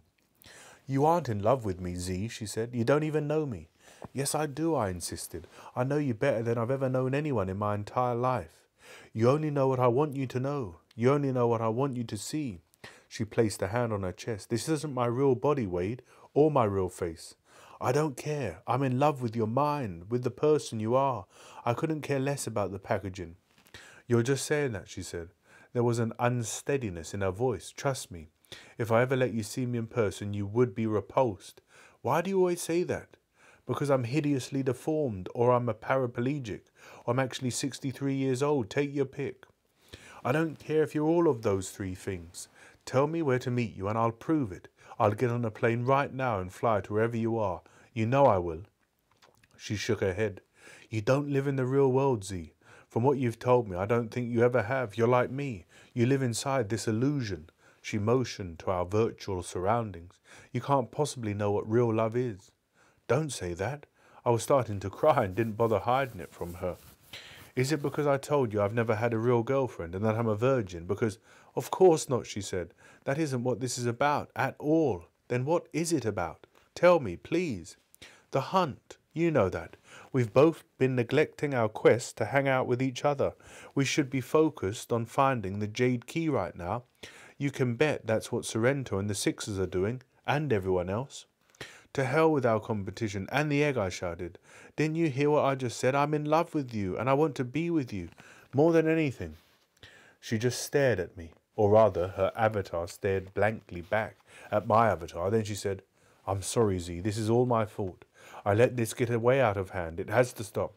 What do you mean it has to stop? I think we should take a break. Stop spending so much time together. I felt like I'd been punched in the throat. Are you breaking up with me? Nosy, she said firmly, I am not breaking up with you.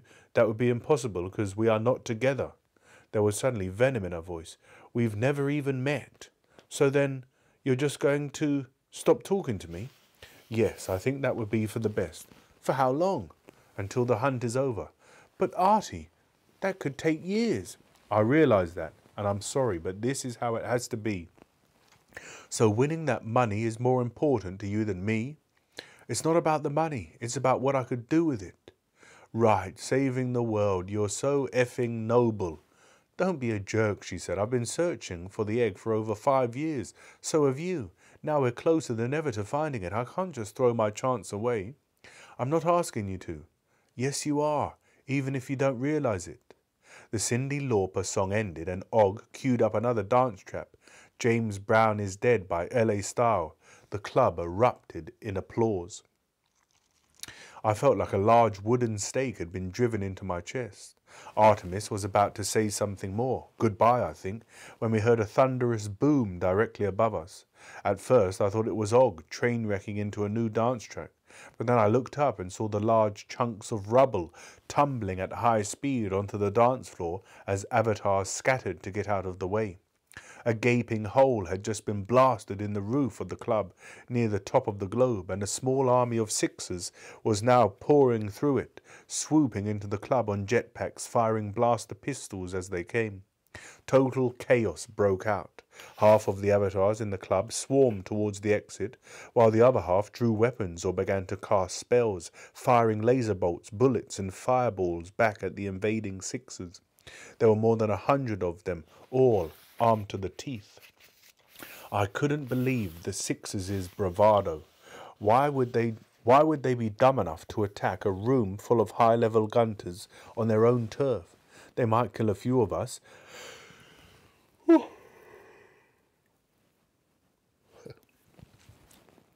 Excuse me.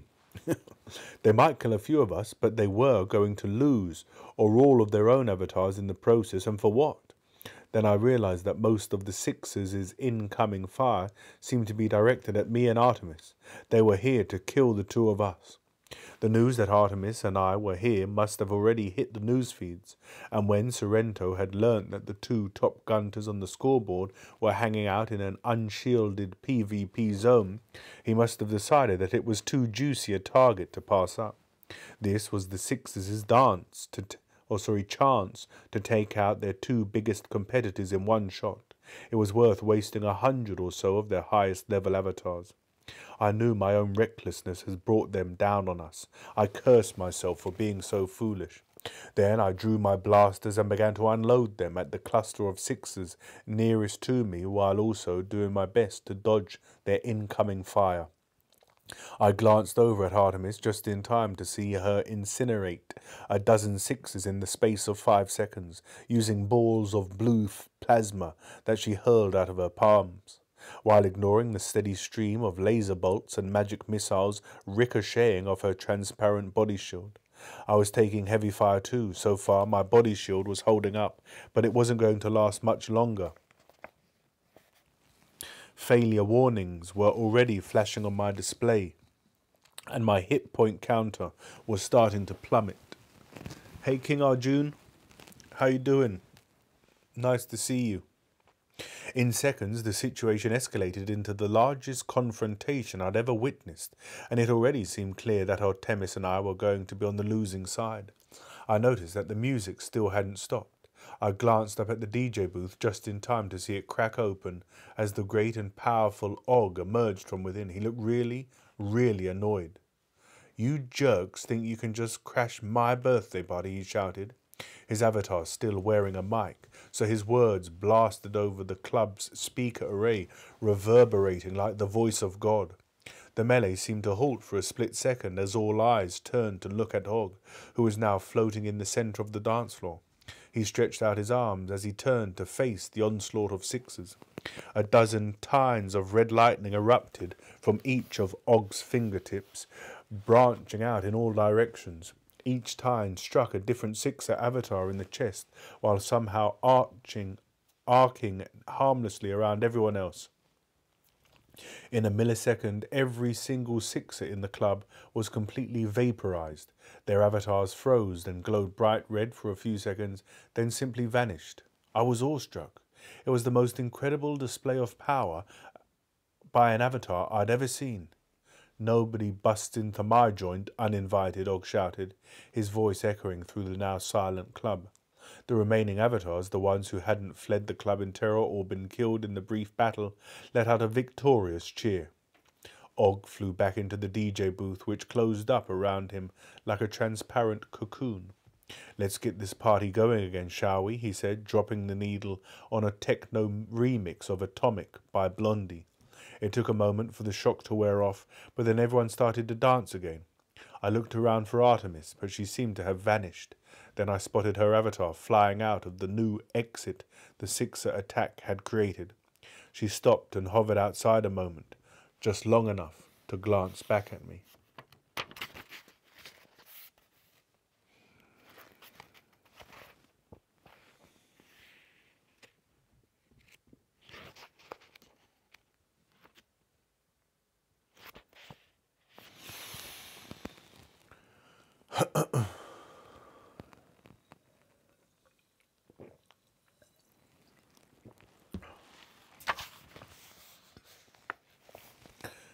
Chapter 19 My computer woke me up just before sundown and I began my daily ritual. I'm up, I shouted at the darkness. In the week since Artemis had dumped me, I'd had a hard time getting out of bed in the morning, so I'd disabled my alarm snooze feature and instructed the computer to blast Wake Me Up Before You Go Go by Wham. I loathed that song with every fibre of my being, and getting up was the only way to silence it. It was the most pleasant way to start it wasn't the most pleasant way to start my day, but it got me moving. The song cut off and my haptic chair reshaped and reoriented itself transforming from a bed back into its chair configuration, lifting me into a sitting position as it did so. The computer began to bring up the light slowly, allow my eyes to adjust. No outside light ever penetrated my apartment. The single window had once provided a view of the Columbus skyline, but I'd spray painted it completely black a few days after I moved in. I decided that everything outside the window was a distraction from my quest, so I didn't need to waste time staring at it. I didn't want to hear the outside world either, but I hadn't been able to improve upon the apartment's existing soundproofing, so I had to live with the muffled sounds of wind and rain and of street and air traffic. Even these could be a distraction, at times I'd slip into a kind of trance, sitting with my eyes closed, oblivious to the passage of time, listening to the sounds of the world outside my room. I'd made several other modifications to the apartment for the sake of security and convenience. First, I replaced the flimsy door with a new airtight, armor plated, vacuum sealed war door. Serious. Whenever I needed something, food, toilet paper, new gear, I ordered it online and someone brought it right to my door. Deliveries worked like this. First, the scanner mounted outside in the hallway would verify the delivery person's identity, and my computer would confirm they were delivering something I'd actually ordered. then the outer door would unlock itself and slide open, revealing a steel reinforced airlock about the size of a shower stall. The delivery person would place the parcel, pizza, or whatever inside the airlock and step back. The outer door would hiss shut and relock itself. Then the package would be scanned, x-rayed, and analyzed eight ways from Wednesday. its contents would be verified and delivered confirma- and delivery confirmation would be sent. Then I would unlock and open the inner door and receive my goods. Capitalism would inch forward without my actually having to interact face to face with another human being, which was exactly how I preferred it. Thank you. The room itself wasn't much to look at, which was fine, because I spent as little time looking at it as possible. It was basically a cube about 10 meters long on each side. A modular shower and toilet unit were embedded in one wall, opposite the small ergonomic kitchen. I never actually used the kitchen to cook anything. My, my meals were all frozen or delivered. Microwave brownies were as close as I ever got to cooking. The rest of the room was dominated by my Oasis immersion rig. I'd invested every spare cent I had in it. Newer, faster, or more versatile components were always being released, so I was constantly spending large chunks of my meager income on upgrades. The crown jewel in my rig was, of course, my customized Oasis console, the computer that powered my world. I'd built it myself, piece by piece, inside a modded mirror black Odinware Sphere chassis. It had a new overclocked processor that was so fast its cycle time bordered on precognition, and the internal hard drive had enough storage space to hold three digitized copies of everything in existence. I spent the majority of my time inside my Shaptic Technologies HC5000 fully adjustable haptic chair. It was suspended by two jointed robotic arms anchored to my apartment's walls and ceiling. These arms could rotate the chair on all four axes, so when I was strapped into it, the unit could fl flip, spin, or shake my body to create the sensation that I was falling, flying, falling, flying, or sitting behind the wheel of a nuclear powered rocket sled hurtling at Mach 2 through a canyon on the fourth moon of Altair 6.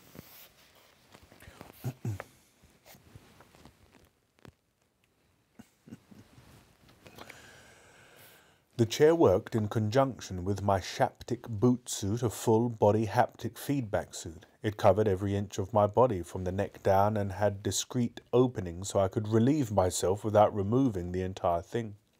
The outside of the suit was covered with an elaborate exoskeleton, a network of artificial tendons and joints that could both sense and inhibit my movements.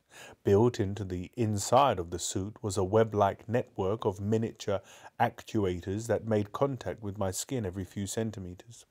These could be activated in small or large groups for the purpose of tactile simulation to make my skin feel things that weren't really there. They could convincingly simulate the sensation of a tap on the shoulder, or a kick to the shin, or a gunshot in the chest. Built-in safety software prevented my rig from actually causing me any physical harm, so a simulated gunshot actually felt more like a weak punch. I had an identical backup suit hanging in the mosh wash cleaning unit in the corner of my room. These two haptic suits made up my entire wardrobe. My old street clothes were bur buried somewhere in the closet, collecting dust.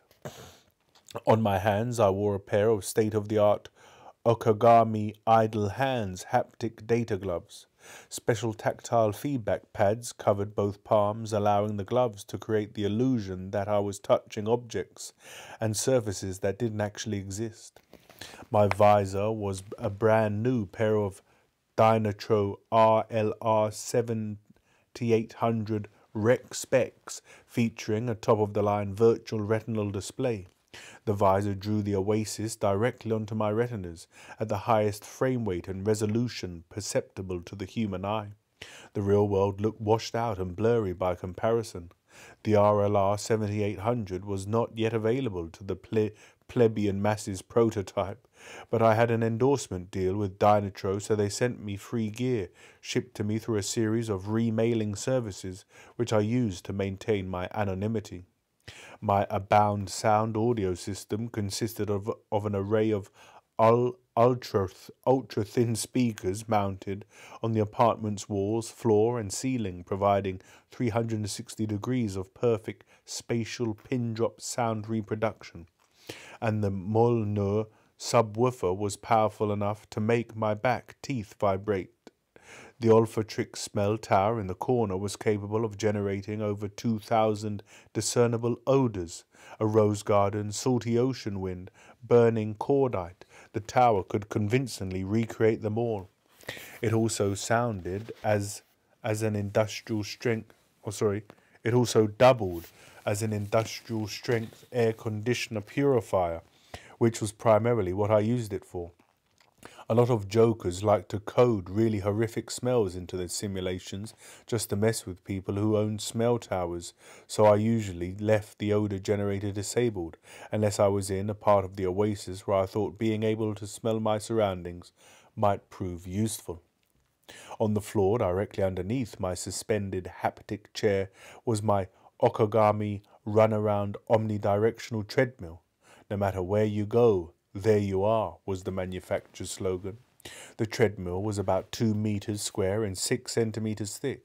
When it was activated, I could run at top speed in any direction and never reach the edge of the platform. If I changed direction, the treadmill would sense it, and its rolling surface would change direction to match me, always keeping my body near the center of the platform. This model was also equipped with built-in lifts and an amorphous surface so that it could simulate walking up inclines and staircases.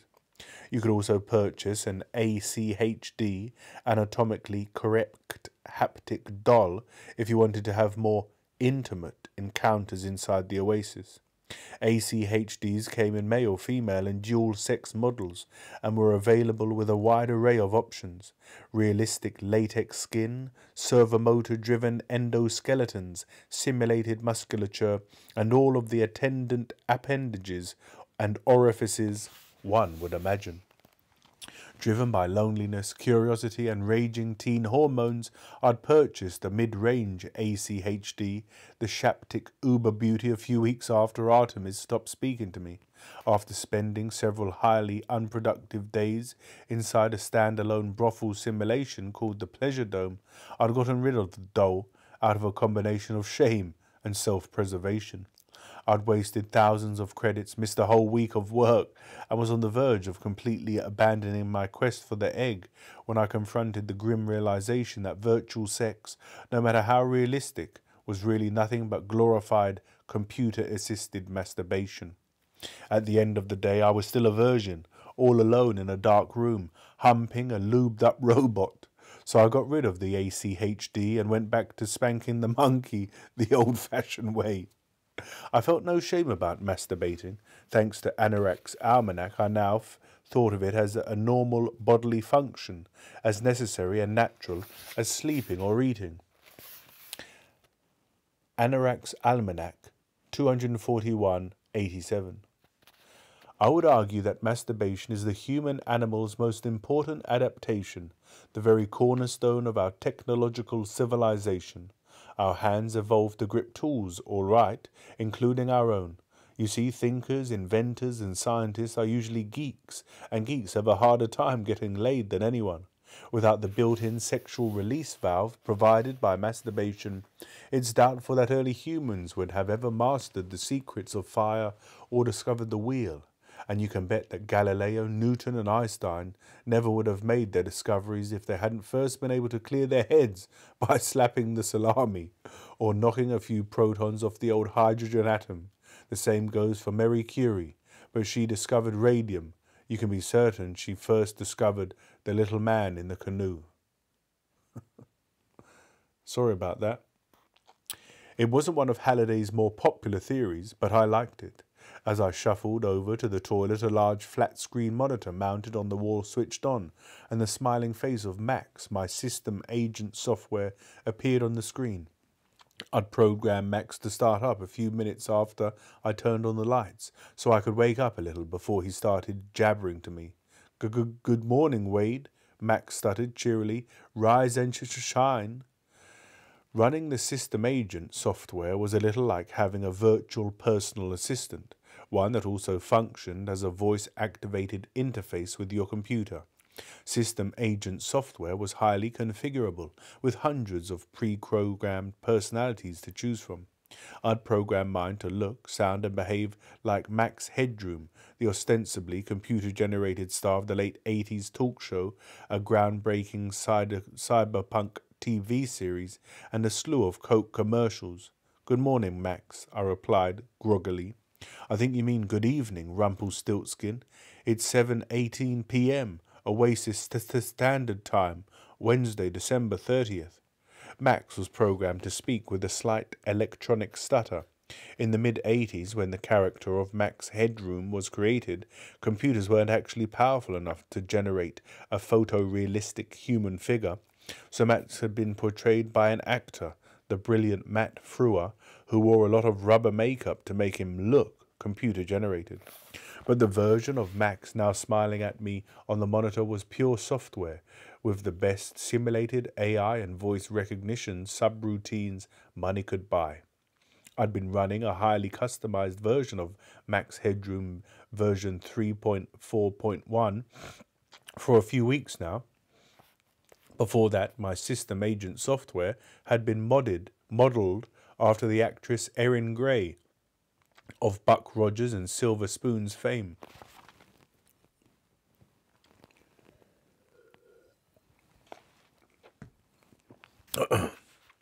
but she had proved to be way too, too distracting, so I'd switched to Max. He was annoying at times, but he also cracked me up. He did a pretty decent job of keeping me from feeling lonesome, too. As I stumbled into the bathroom module and emptied my bladder, Max continued to address me from a small monitor mounted above the mirror. Uh oh, it appears you've sp sprung a leak, he said. Get a new joke, I said. Any news I should know about? Just the usual wars, rioting, famine, nothing that would interest you. Any messages? He rolled his eyes. A few, but to answer your real question, no. Artemis still hasn't called or written you back, lover boy. I've warned you, don't call me that, Max. You're begging to be deleted. Touchy, touchy. Honestly, Wade, when did you get so sensitive? I'll erase you, Max, I mean it. Keep it up and I'll switch back to Wilma Deering, or I'll try out the disembodied voice of Majel Barrett. Max made a pouty face and spun around to face the shifting digital wallpaper behind him, currently a pattern of multicolored vector lines. Max was always like this, giving me grief was part of his pre-programmed personality. I actually sort of enjoyed it because it reminded me of hanging out with Aech. I, and I really missed hanging out with Aech a lot. My gaze dropped to the bathroom mirror, but I didn't much like what I saw there, so I closed my eyes until I finished urinating. I wondered, not for the first time, why I hadn't painted the mirror black too, when I'd done the window. The hour or so after I woke up was my least favourite part of the day, because I spent it in the real world, this was when I dealt with the tedious business of cleaning and exercising my physical body. I hated this part of the day because everything about it contradicted my other life. My real life inside the oasis. The sight of my tiny one room apartment, my immersion rig, or my reflection in the mirror, they all served as a harsh reminder that the world I spent my days in was not, in fact, the real one. Retract chair, I said as I stepped out of the bathroom. The haptic chair instantly flattened itself again, then retracted so that it was flush against the wall, clearing a large empty space in the center of the room. I pulled on my visor and loaded up the gym, a standalone simulation. Now I was standing in a large modern fitness center lined with exercise equipment and weight machines, all of which could be perfectly simulated by my haptic suit. I began my daily workout, sit-ups, stomach crunches, push ups, aerobics, weight training. Occasionally, Max would shout words of encouragement Get those legs up, you sissy. Feel the burn. I usually got a little exercise while logged into the oasis by engaging in physical combat or running around the virtual landscape on my treadmill. But I spent the vast majority of my time sitting in my haptic chair, getting almost no exercise at all. I also had a habit of overeating when I was depressed or frustrated, which was most of the time. As a result, I'd gradually started to put on some extra pounds. I wasn't in the best shape to begin with, so I quickly reached a point where I could no longer fit comfortably in my haptic chair or squeeze into my XL haptic suit.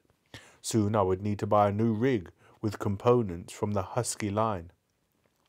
I knew that if I didn't get my weight under control, I would probably die of sloth before I found the egg. I couldn't let that happen, so I made a snap decision and enabled the voluntary Oasis fitness lockout software on my rig. I'd regretted it almost immediately.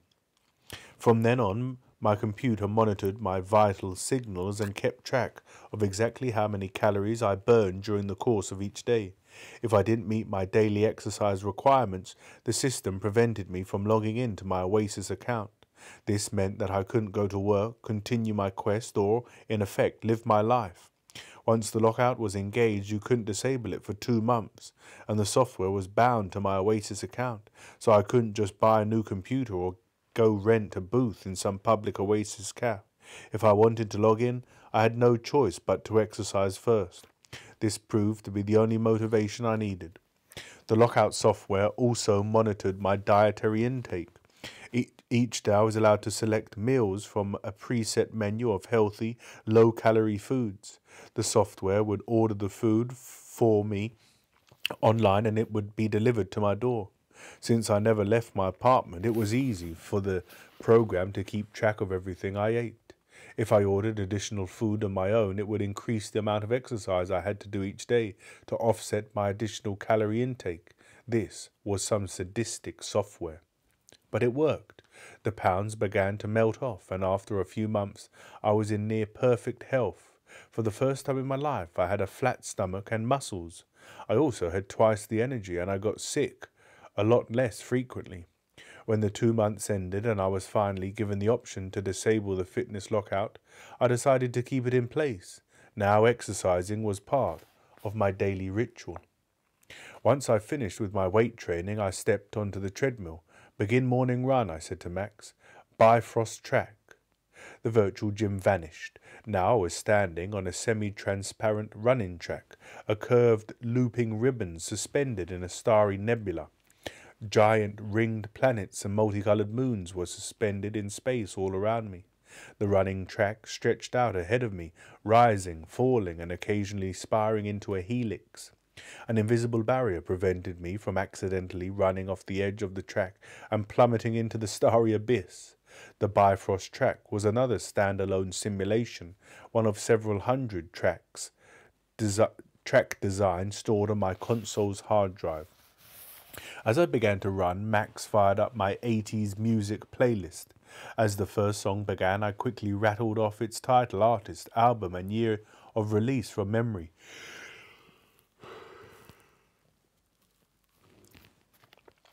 A Million Miles Away, The Plimsouls, Everywhere at Once, 1983.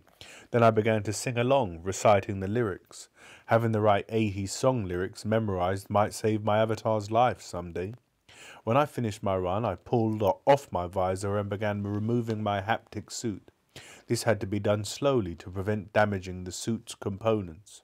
As I carefully peeled it off, the contact patches made tiny popping sounds as they pulled free of my skin, leaving tiny circular marks all over my body.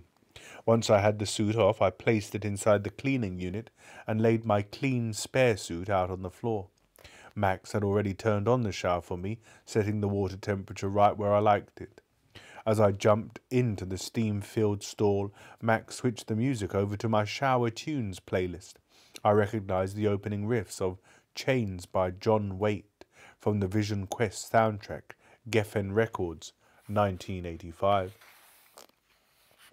The shower worked a lot like an old car wash. I just stood there while it while it did most of the work, blasting me from all angles with soapy with soapy water, then rinsing me off.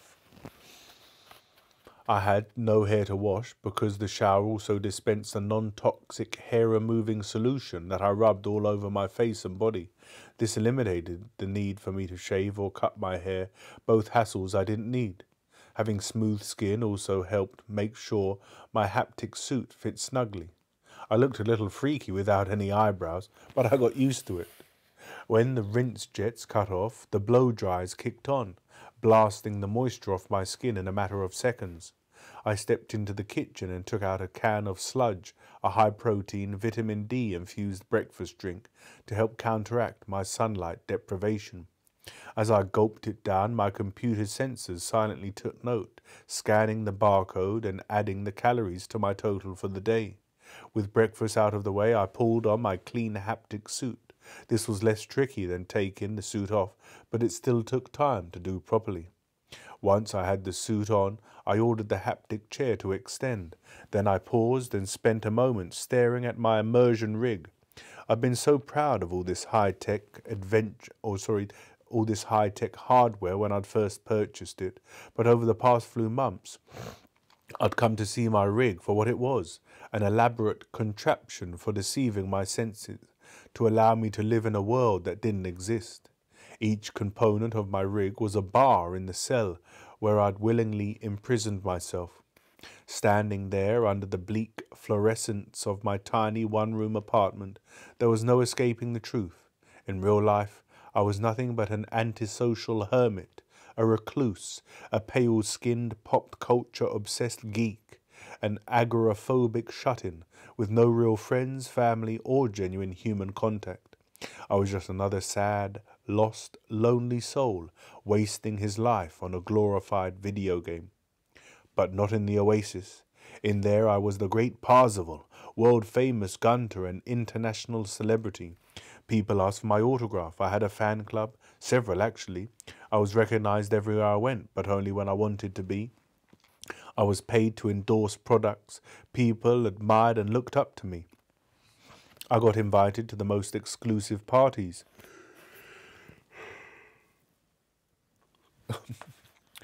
I went to all the hippest clubs and never had to wait in line. I was a pop culture icon, a VR rock star, and in Gunter circles, I was a legend, nay, a god. I sat down and pulled on my gloves and visor. Once my identity was verified, the Gregarious Simulation Systems logo appeared in front of me, followed by the login prompt. Greetings, Parzival. Please speak your passphrase. I cleared my throat and recited my passphrase. Each word appeared on my display as I said it. No one in the world ever gets what they want, and that is beautiful. There was a brief pause, and then I let out an involuntary sigh of relief as the oasis faded into existence all around me.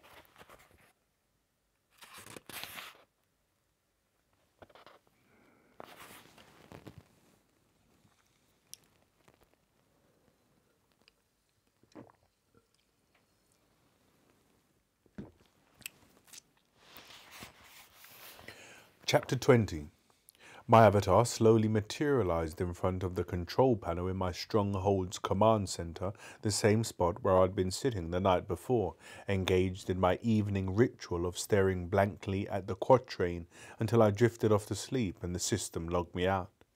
I'd been staring at the damn thing for almost six months now, and I still hadn't been able to decipher it. No one had, Everyone had theories, of course, but the Jade Key still remained unfound, and top rankings on the scoreboard remained static. My command center was located under an armored drone embedded in the rocky surface of my own private asteroid. From here, I I had a sweeping 360 degree view of the surrounding cratered landscape, stretching to the horizon in all directions. The rest of my stronghold was below ground in a vast subterranean complex that stretched all the way to the asteroid's core. I'd coded the entire thing myself shortly after moving to Columbus. My avatar needed a stronghold and I didn't want any neighbors, so I'd bought the cheapest planetoid I could find, this tiny barren asteroid in Sector 14. Its designation was S14A316, but I'd renamed it Falco after the Austri Austrian rap star. I wasn't a huge Falco fan or anything, I just thought it sounded like a cool name. Falco had only a few square kilometres of surface area, but it still cost me a pretty penny. It had been worth it, though. When you owned your own world, you could build whatever you wanted there, and no one could visit it unless I granted them access, something I never gave to anyone. My stronghold was my home inside the oasis, my avatar's sanctuary. It was the only place in the entire simulation where I was truly safe. As soon as my login sequence completed, a window popped up on my display, informing me that today was an election day. Now that I was 18, I could vote in both the Oasis elections and the elections for the US government officials. I didn't bother with the latter because I didn't see the point. The once great country into which I'd been born now resembled its former self in name only. It didn't matter who was in charge. Those people were rearranging deck chairs on the Titanic, and everyone knew it. Besides, now that everyone could vote from home via the Oasis, the only people who could get elected were movie stars, reality TV personalities, or radical televangelists. I did take the time to vote in the Oasis elections, however, because their outcomes actually affected me. The voting process only took me a few minutes because I was already familiar with all of the major issues GSS had put on the ballot. It was also time to elect the president and VP of the Oasis User Council, but that was no that was a no-brainer. Like most Gunters, I voted to re-elect Cory Doctorow and Wil Wheaton again. There were no term limits, and these two geezers had been doing a kick-ass job of protecting user rights for over a decade. When I finished voting, I adjusted my haptic chair slightly and studied the command console in front of me. It was crammed with switches, buttons, keyboards, joysticks, and display screens. A bank of security monitors on my left were linked to virtual cameras placed throughout the interior and exterior of my stronghold. To my right, another bank of monitors displayed all my favorite news and entertainment vid feeds. Among these was my own channel, Parzival TV, broadcasting obscure, eclectic crap 24 7, 365. Earlier that year, GSS had added a new feature to every Oasis user's account the POV personal Oasis VidFeed channel. It allowed anyone who paid a monthly fee to run their own streaming television network. Anyone logged into the simulation could tune in and watch your POV channel from anywhere in the world. What you aired on your channel and who you who you allowed to view it were entirely up to you. Most users chose to run a voyeur channel, which was like being the star of your own 24-hour reality show. Hovering virtual cameras would follow your avatar around the oasis as you went about your day-to-day activities. You could limit access to your channel so that only your friends could watch, or you could change viewers by the hour to access your POV, or charge viewers by the hour to access your POV. A lot of second tier celebrities and porno pornographers did this, selling their virtual lives at a per minute premium. Some people use their POV to broadcast live video of their real world selves or their dog or their kids. Some people program nothing but old cartoons. The possibilities were endless, and the variety of stuff available seemed to grow more twisted every day. Non stop foot fetish videos broadcast out of Eastern Europe, amateur porn featuring deviant soccer mums in Minnesota, you name it. Every flavour of weirdness the human psyche could cook up was being filmed and broadcast online. The vast wasteland of television programming had finally reached its zenith, and the average person was no longer limited to 15 minutes of fame. Now everyone could be on TV every second of every day, whether or not anyone was watching. And here at Book Club, we have our own, um, our own, uh, excuse me, our own edition of POV, right? Lewis Kirk reading books.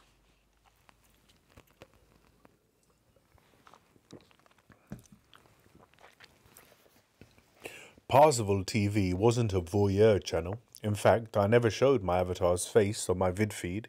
Instead, I programmed a selection of classic 80s TV shows, retro commercials, cartoons, music, videos, and movies lots of movies. On the weekends, I showed old Japanese monster flicks along with some vintage anime. Whatever struck my fancy, it really didn't matter what I programmed. My avatar was still one of the high five, so my vid feed drew millions of viewers every day, regardless of what I aired, and this allowed me to sell commercial time to my various sponsors. Most of Parzival TV's regular viewers were gunters who monitored my vid feed with the hope that I'd inadvertently reveal some key piece of information about the Jade Key or the egg itself. I never did, of course. At the moment, Parzival TV was wrapping up a non-stop two-day Kikaider marathon. Kikaider was a late 70s Japanese action show about a red and blue android who beat the crap out of a rubber-suited monsters in each episode.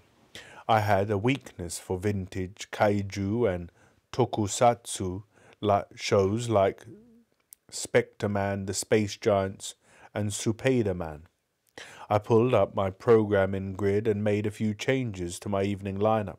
I cleared away the episodes of Riptide and Misfits of Science I'd programmed and dropped in a few back to back flicks starring Gamera, my favourite giant flying turtle.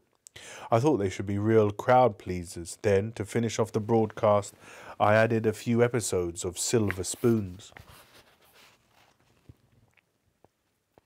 Hello there, Laclithia. Hi, welcome.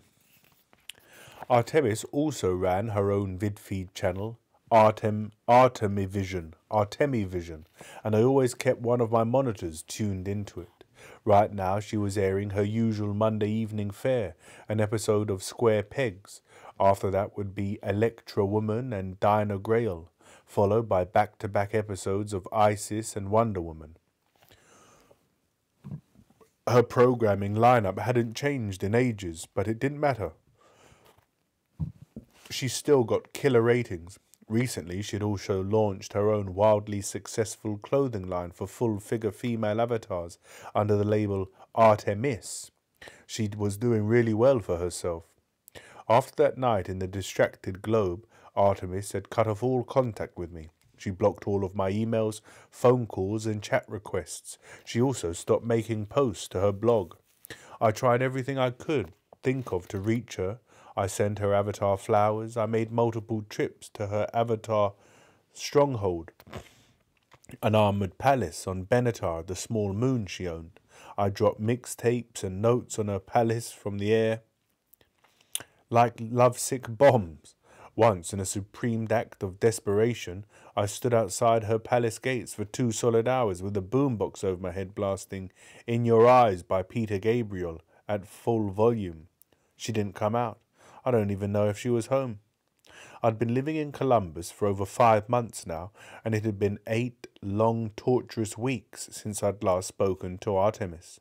But I hadn't spent all that time moping around and feeling sorry myself. Well, not all of it anyway. I tried to enjoy my new life as a world famous sector hopping gunter.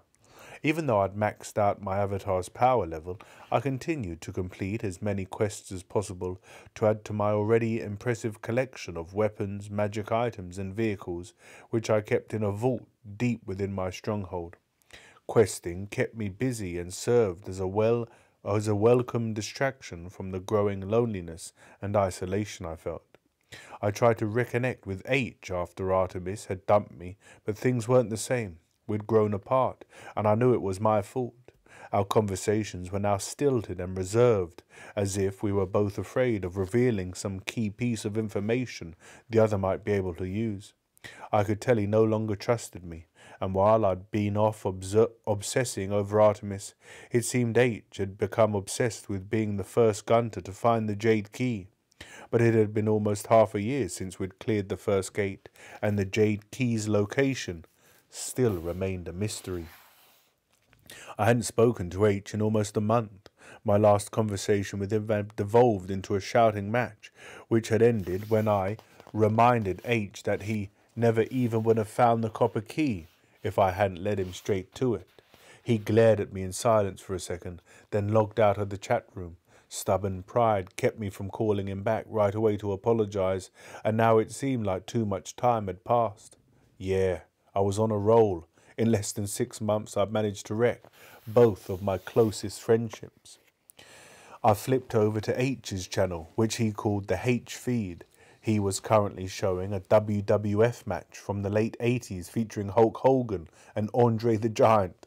I didn't even bother checking Daito and Shoto's channel the Dai show because I knew they'd be showing some old samurai movie. That's all those guys ever aired. A few months after our confrontational first meeting in Aech's basement, I'd managed to form a tenuous friendship with Daito and Shoto when the three of us teamed up to complete an extended quest in Sector 22. It was my idea, I felt bad about how our first encounter had ended, and I waited for an opportunity to extend some sort of olive branch to the two samurai. It came when I discovered a hidden high-level quest called Shodai Urutoraman on the planet Toku Tokusatsu. The creation date in the quest's colophon said it had been launched several years after Halliday's death, which meant it couldn't have been any relation to the contest. It was also a Japanese language quest created by GSS's Hokkaido division. I could have tried to complete it in my on my own using the Mandarax real-time translator software install, installed in all Oasis accounts, but it would have been risky. Mandarax had been known to garble or misinterpret quest instructions and cues, which could easily lead to fatal mistakes. Daito and Shoto lived in Japan. They'd become national heroes there, and I knew that they both spoke Japanese and English fluently. So I'd so I'd contacted them to ask if they were interested in teaming up with me just for this one quest. They were skeptical at first, but after I described the unique nature of the quest and what I believed the payoff for solving it might be, they finally agreed. The three of us met outside the quest gate of Tokusatsu and entered it together. The quest was a recreation of all 39 episodes of the original Ultraman TV series, which had aired on Japanese television from 1966 to 1967. The show's storyline centered around a human named Hayata, who was a member of the Science Patrol, an organization devoted to fighting the hordes of giant Godzilla like monsters that were constantly attacking Earth and threatening human civilization. When the Science Patrol encountered a threat they couldn't handle on their own, Hayata would use an alien device called a beta capsule to transform into an alien super being known as Ultraman. Then he would proceed to kick the monster of the week's ass using all sorts of kung fu moves and energy attacks. If I had entered the quest gate by myself, I would have automatically played through the entire series storyline as Hayata. But because Shoto, Daito, and I had all entered at once, we were each allowed to select a different Science Patrol team member to play. We could then change or swap characters at the start of the next level or episode. The three of us took turns playing Hayata and his Science Patrol teammates, Hoshino and Arashi. As with most quests in the Oasis, playing as a team made it easier to defeat the various enemies and complete each of the levels. It took us an entire week, often playing over 16 hours a day, before we were finally able to clear all 39 levels and complete the quest. As we stepped out of the quest gate, our avatars were each awarded a huge amount of experience points and several thousand credits. But the real prize for completing the quest was an incredibly rare artifact, Hayata's beta capsule. The small metal cylinder allowed the avatar who possessed it to transform into Ultraman once a day for up to three minutes. Since there were three of us, there was a debate over who should be allowed to keep the artifact. Parzival should have it, Shoto had said, turning to his older brother. He found this quest. We wouldn't even have known about it, were it not for him. Of course, Daito had disagreed, and he would not have been able to complete the quest without our help. He said the only fair thing to do would be to auction off the beta capsule and split the proceeds, but there was no way I could allow that. The artifact was far too valuable to sell, and I knew it would end up in the hands of the Sixers, because they purchased nearly every major artifact that went up for auction. I also saw this as an opportunity to get on Daisho's good side. You two should keep the beta capsule, I said.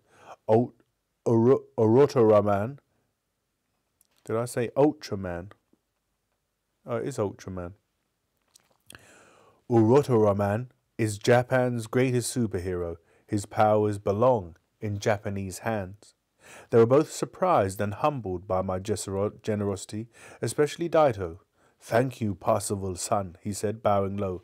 You're a man of honor.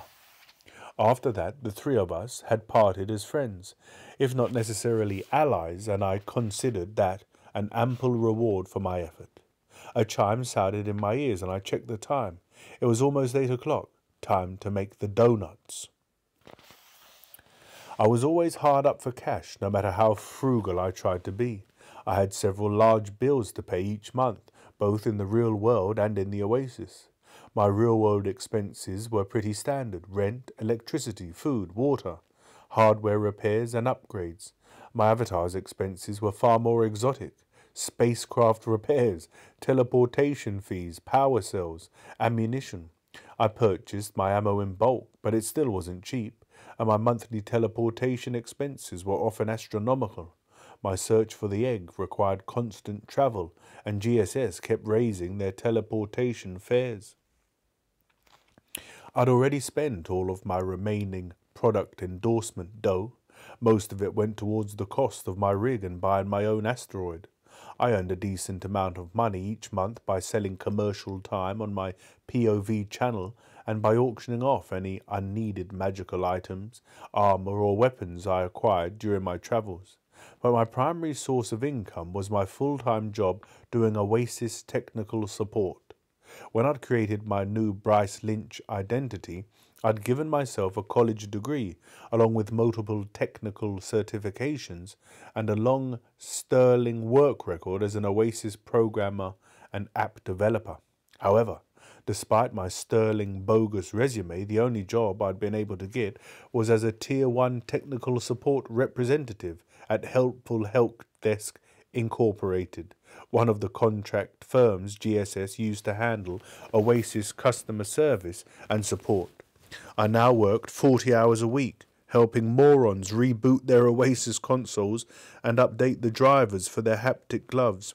It was grueling work, but it paid the rent. I logged out of my own Oasis account and then used my rig to log in to a separate Oasis account I'd been issued for work. The login process completed, and I took control of a happy help desk avatar, a cookie cutter Ken doll that I used to take tech support calls. This avatar appeared inside a huge virtual call center, inside a virtual cubicle, sitting at a virtual desk in front of a virtual computer wearing a virtual headphone set. I thought of this place as my own private virtual hell.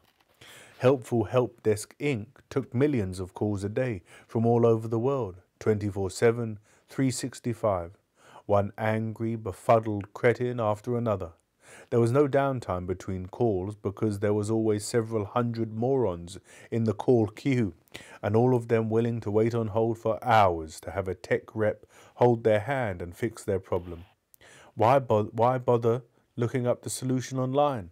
Why try to figure the problem out on your own when you could have someone else do your thinking for you? As usual, my 10 hour shift passed slowly. It was impossible for help desk avatars to leave their cubicles, but I found other ways to pass the time. My work account was rigged so that I couldn't browse outside websites, but I'd hacked my visor to allow me to listen to music or stream movies off my hard drives while I took calls. When my shift finally ended and I logged out of work, I immediately logged back into my own Oasis account. I had thousands of new email messages waiting, and I could just tell by their subject lines what had happened while I had been at work. Oh. I'll read that again. When my shift finally ended and I logged out of work, I immediately logged back into my own Oasis account. I had thousands of new email messages waiting, and I could tell by their subject lines what had happened while I'd been at work. Artemis had found the jade key. Oh, it's heating up.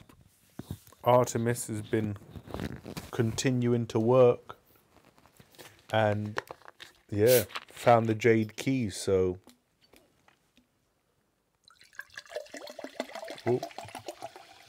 some sound effects.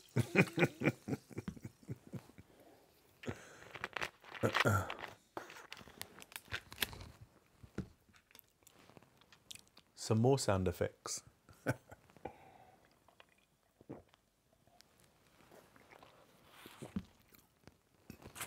After all that fun, back to the book. Chapter 21. Like other gunters around the globe, I'd been dreading the next change on the scoreboard because I knew it was going to give the Sixers an unfair advantage. A few months after we'd all cleared the first gate, an anonymous avatar had placed an ultra powerful artifact up for auction. It was called Fyndoro's Tablet of Finding, and it had unique powers that could give its owner a huge advantage in the hunt for Halliday's Easter egg. hey, Julie, it sure is.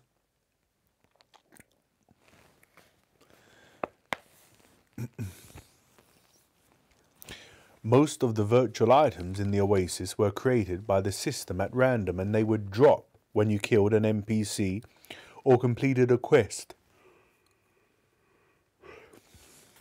The rarest such items were artifacts, super powerful magic items that gave their owners incredible abilities.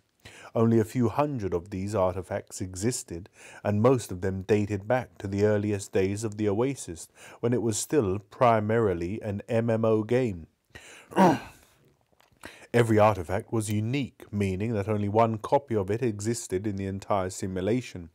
Usually, the way to obtain an artifact was to defeat some godlike villain at the end of a high level quest.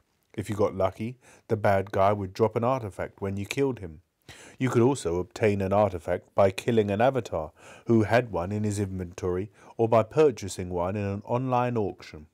Since artifacts were so rare, it was always big news when one went up for auction. Some had been known to sell for hundreds of thousands of credits, depending on their powers.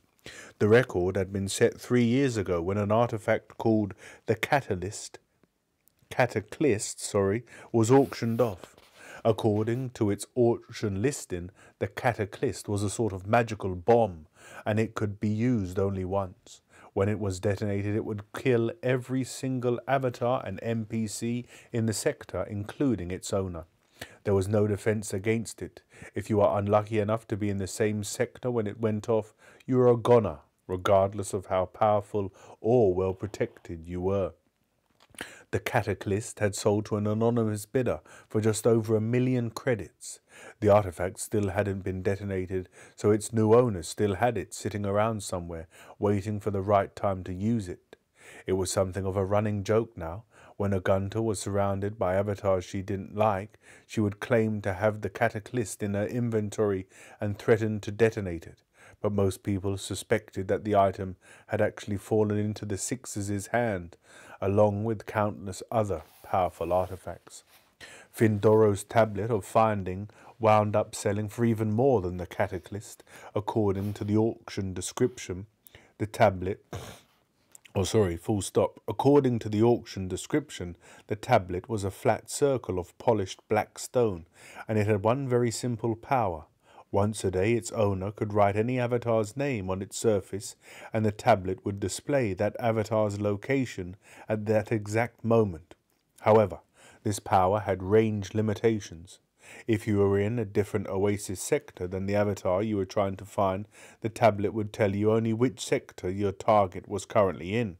If you are already in the same sector, the tablet would tell you what planet your target was currently on, or closest to if they were out in space. If you are already on the same planet as your target when you use the tablet, it would show you their exact coordinates on a map. As the artifact seller made sure to point out in his auction listing, if you use the tablet's power in conjunction with the scoreboard, it arguably became the most valuable artifact in the entire Oasis. All you had to do was watch the top rankings of the scoreboard and wait until someone's score increased. The second that happened, you could write that avatar's name on the tablet and it would tell you where they were at that exact moment, thus revealing the location of the key they'd just found or the gate they'd just exited. Due to the artifact's range limitations, it might take two or three attempts to narrow down the exact location of a key or a gate, but even so, that was still information a lot of people would be willing to kill for. When Fyndoro's tablet of finding went up for auction, a huge bidding war broke out between several of the large Gunter clans, but when the auction finally ended, the tablet wound up selling to the Sixes for almost a million for almost two million credits. Sorrento himself used his own IOI account to bid on the tablet. He waited until the last few seconds of the auction and then outbid everyone. He could have bid anonymously, but he obviously wanted the world to know who now possessed the artifact. It was also his way of letting those of us in the high five know that from that moment forward, whenever one of us found a key or cleared a gate, the Sixes would be tracking us, and there would be nothing we could do about it. At first, I was worried the Sixes would also try to use the tablet to hunt down each of our avatars and kill us one at a time. But locating our avatars wouldn't do them any good unless we happened to be in a PvP zone at the time and were stupid enough to stay put until the Sixers could reach us. And since the tablet could be used only once a day, they would also run the risk of missing their window of opportunity if the scoreboard changed on the same day they tried to use the tablet to locate one of us. They didn't take the chance. They kept the artifact in reserve and waited for their moment. Less than, uh, less than a half hour after Artemis's score increase, the entire Sixer fleet was spotted converging on Sector 7. The moment the scoreboard changed, the Sixers had obviously used Fyndoro's tablet of finding to try to ascertain Artemis's exact location. Luckily, the sixth avatar using the tablet, probably Sorrento himself, happened to be in a different sector from Artemis, so the tablet didn't reveal what planet she was on, it only told the Sixers which sector she was currently in, and so the entire Sixer fleet had immediately hightailed to Sector 7. Thanks to their complete lack of subtlety, the whole world now knew the Jade Key must be hidden somewhere in that sector. Naturally, thousands of gunters began to converge on it too. The Sixers had narrowed the search area for everyone. Luckily, Sector 7 contained hundreds of planets, moons, and other worlds, and the J key could have been hidden on any one of them. I spent the rest of the day in shock, reveling at the news I'd been dethroned. That was exactly how the newsfeed headlines put it. Parzival dethroned. Artemis new number one gunter. Sixers closing in. Once I finally got a grip, I pulled up the scoreboard and made myself stare at it for 30 solid minutes while I mentally berated myself. Artemis 129,000, Parzival 110,000, and so on and so on and so on.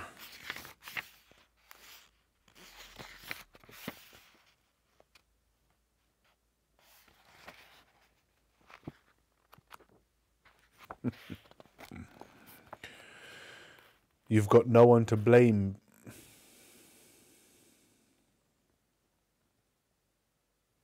Hello there, Adai. You've got no one to blame. You, you've got no one but yourself to blame, I told myself. You let success go to your head. You slacked off on your research. What do you think? What? Did you think lightning would strike twice? That eventually you'd just stumble across the clue you needed to find the jade key? Sitting in first place all that time gave you a false sense of security. But you don't have that problem now, do you, arsehead? No, because instead of buckling down and focusing on your quest like you should have done, you pissed away your lead.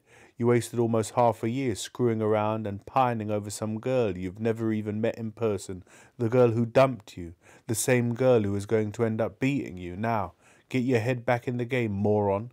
Find that key.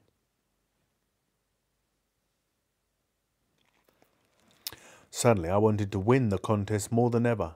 Not just for the money, I wanted to prove myself to Artemis, and I wanted the hunt to be over so that she would talk to me again so that I could finally meet her in person, see her true face, and try to make sense of how I felt about her. I cleared the scoreboard off my display and opened up my Grail diary, which had now grown into a vast mountain of data containing every scrap of information I'd collected since the contest began.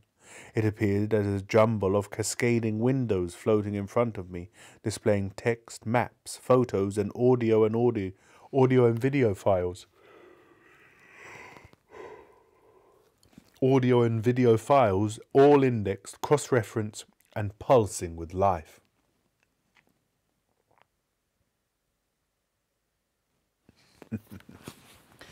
I've already read the BFG, so I'm afraid uh, maybe one day, if, if lots of people want to hear it, I'll read the BFG again, but you can watch the replay.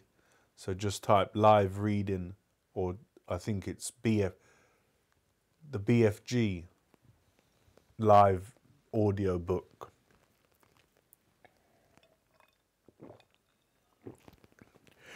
So you can find it on the channel. I kept the quatrain open in a window that was always on top. Four lines of text, 24 words, 34 syllables. I'd stared at them so often and for so long that they'd nearly lost all meaning. Looking at them again now, I had to resist the urge to scream in rage and frustration. The captain conceals the jade key in a dwelling long neglected, but you can only blow the whistle once the trophies are all collected. I knew the answer was right there in front of me. Artemis had already figured it out. I read over my notes about John Draper, aka Captain Crunch, and the toy plastic whistle that had made him famous in the annals of hacker lore. I still believed that these were the captain and whistle Halliday was referring to, but the rest of the quatrain's meaning remained a mystery. But now I possessed a new piece of information. The key was somewhere in Sector 7. So I pulled up my Oasis Atlas and began to search for planets with names I thought might somehow be related to the Quatrain. I found a few worlds named after famous hackers like Woz and Mitnick, but none named after John Draper. Sector 7 also contained hundreds of worlds named after old Usenet newsgroups, and on one of these, the planet Alt Phreaking, there was a statue of Draper posing with an ancient rotary phone in one hand and a Captain Crunch whistle in the other. But the statue had been erected three years after Halliday's death, so I knew it was a dead end. I read through the quatrain yet again, and this time the last two lines jumped out at me. But you can only blow the whistle once the trophies are all collected. Trophies. Somewhere in Sector 7. I needed to find a collection of trophies in Sector 7. I did a quick search of my files on Halliday. From what I could tell, the only trophies he'd ever owned were the five Game Designer of the Year awards he'd won back at around the turn of the century. These trophies were still on display in the GSS Museum in Columbus, but there were replicas of them on display inside the oasis on a planet called Arcade, or Arcade.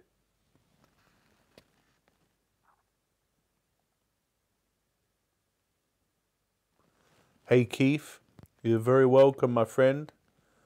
I'm glad you uh, I'm glad you enjoy that.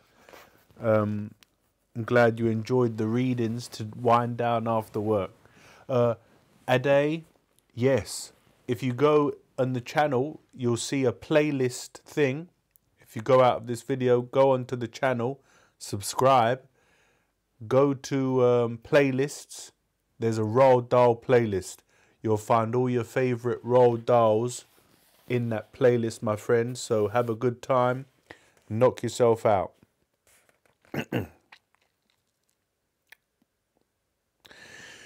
These trophies were still on display in the GSS Museum in Columbus, but there were replicas of them on display inside the oasis on a planet called Archaide.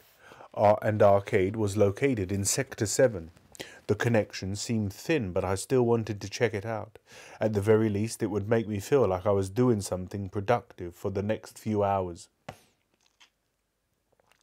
I glanced over at Max, who was currently doing the samba on one of my command center monitors. Max, prep the Vonnegut for takeoff, if you're not too busy. Max stopped dancing and smirked at me. You got it, El Comanchero? I got up and walked over to my stronghold's elevator which I'd modelled after the turbo lift of the original Star Trek series. I rode down four levels to my armory, a massive vault filled with storage shelves, display cases, and weapon racks. I pulled up my avatar's inventory display, which appeared as a classic paper doll diagram of my avatar, onto which I could drag and drop various items and pieces of equipment. Archaide was located in a PvP zone, so I decided to upgrade my gear and wear my Sunday best. I put on my gleaming plus 10 Hail Mail powered armor, then strapped on my favorite set of blaster pistols and slung a pump action pistol grip shotgun across my back, along with a plus 5 Vorpal bastard sword. I also grabbed a few other essential items an extra pair of anti grav boots, a ring of magic resistance, an amulet of protection, some gauntlets of giant strength. I hated the idea of needing something and not having it with me, so I usually ended up carrying enough equipment for three gunters. When I ran out of room on my avatar's body, I stored the additional gear in my backpack of holding.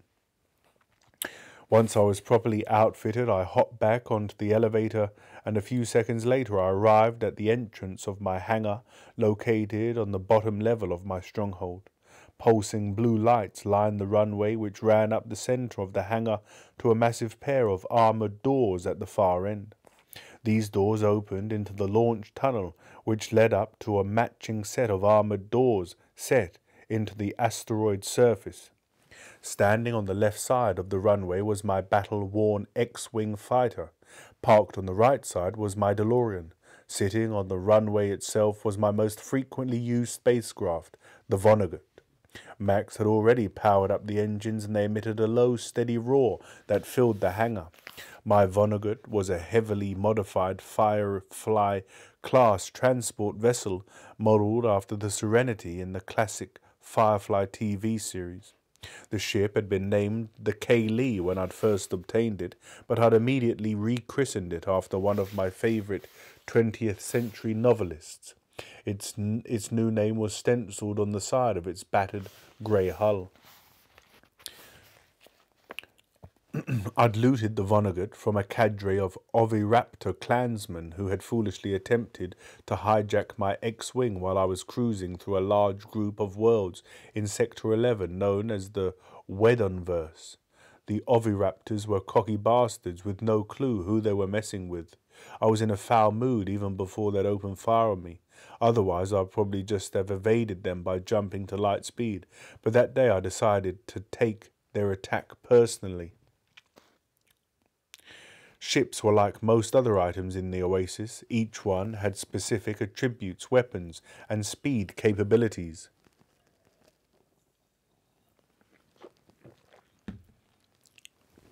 My X-Wing was far more maneuverable than the Oviraptor's large transport ship, so it was no trouble for me to avoid the barrage from their aftermarket guns, while I bombarded them with laser bolts and proton torpedoes. After I disabled their engines, I boarded the ship and proceeded to kill every avatar there. The captain tried to apologize when he saw who I was, but I wasn't in a forgiving mood. After I dispatched the crew, I parked my X-Wing in the cargo hold and then cruised home in my new ship. As I approached the Vonnegut, the loading ramp extended to the, lang- to the hangar floor. By the time I reached the cockpit, the ship was already lifting off. I heard the landing gear retract with a thud just as I seated myself at the controls. Max, lock up the house and set a course for Archaide. Aye, aye, Captain, Max stuttered from the one of the cockpit monitors. The hangar doors slid open and the Vonnegut rocketed out a launch tunnel and up into the starry sky. As the ship cleared the surface, the armoured tunnel doors slammed closed behind it. I spotted several ships camped out in a high orbit above Falco. The usual suspects, crazed fans, wannabe disciples, and aspiring bounty hunters. A few of them, the ones currently turning to follow me, were tagalongs, people who spent most of their time trying to, trying to tail prominent gunters and gather intel on their movements so they could sell the information later. I was always able to lose these idiots by jumping to light speed a lucky thing for them. If I couldn't lose someone who was trying to tail me, I usually had no choice but to stop and kill them. As the Vonnegut made the jump to light speed, each of the planets on my view screen became a long streak of light.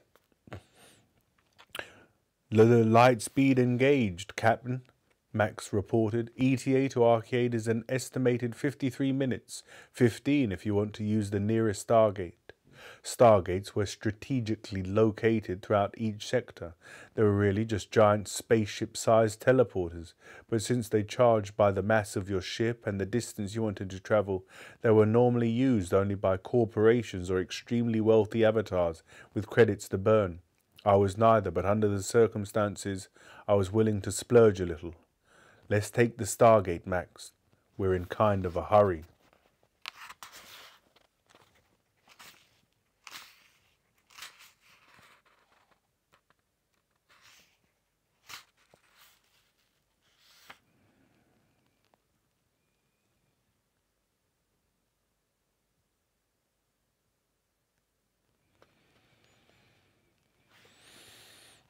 Right, I think um, we're going to leave it there for the night, guys. And then um, tomorrow it looks like Parzival is going to find the Jade Key. And then he'll be looking for the second gate, right? So, yeah. That's all for this evening sorry to end it abruptly there, but yeah, I'm getting quite tired, and, and like I say, we've still got a fair bit of reading to go. So um, I'll be back tomorrow for another good session. and um, yeah, we'll continue. And I really, well, I, I want to read something different on um, Sunday. I'm going to put out a poll tomorrow what we should read next, and so I must uh, read finish this book by um, Thursday night. So we've got two more sessions tomorrow, and then Thursday I'm just going to have to go power through to the end. So Thursday could be a, a long one, so be sure to join me on Thursday. Uh, Julie Whitelaw, you are so welcome, and thanks for being a dedicated. Um, I don't know, I don't know what you are, but a dedicated um, book lover. It, it, it's amazing that you you've been here, and and it's been nice to see a familiar face. So thank you for being here. I'll be back tomorrow with part four, and then Thursday night we will 100% finish the book because I want to get it finished so we can read something different on Sunday. And I'll drop that poll tomorrow. So keep your eye out for that. Be sure to vote, tell a friend, and I'll see you soon. Take care, guys. I'll see you tomorrow. Bye now.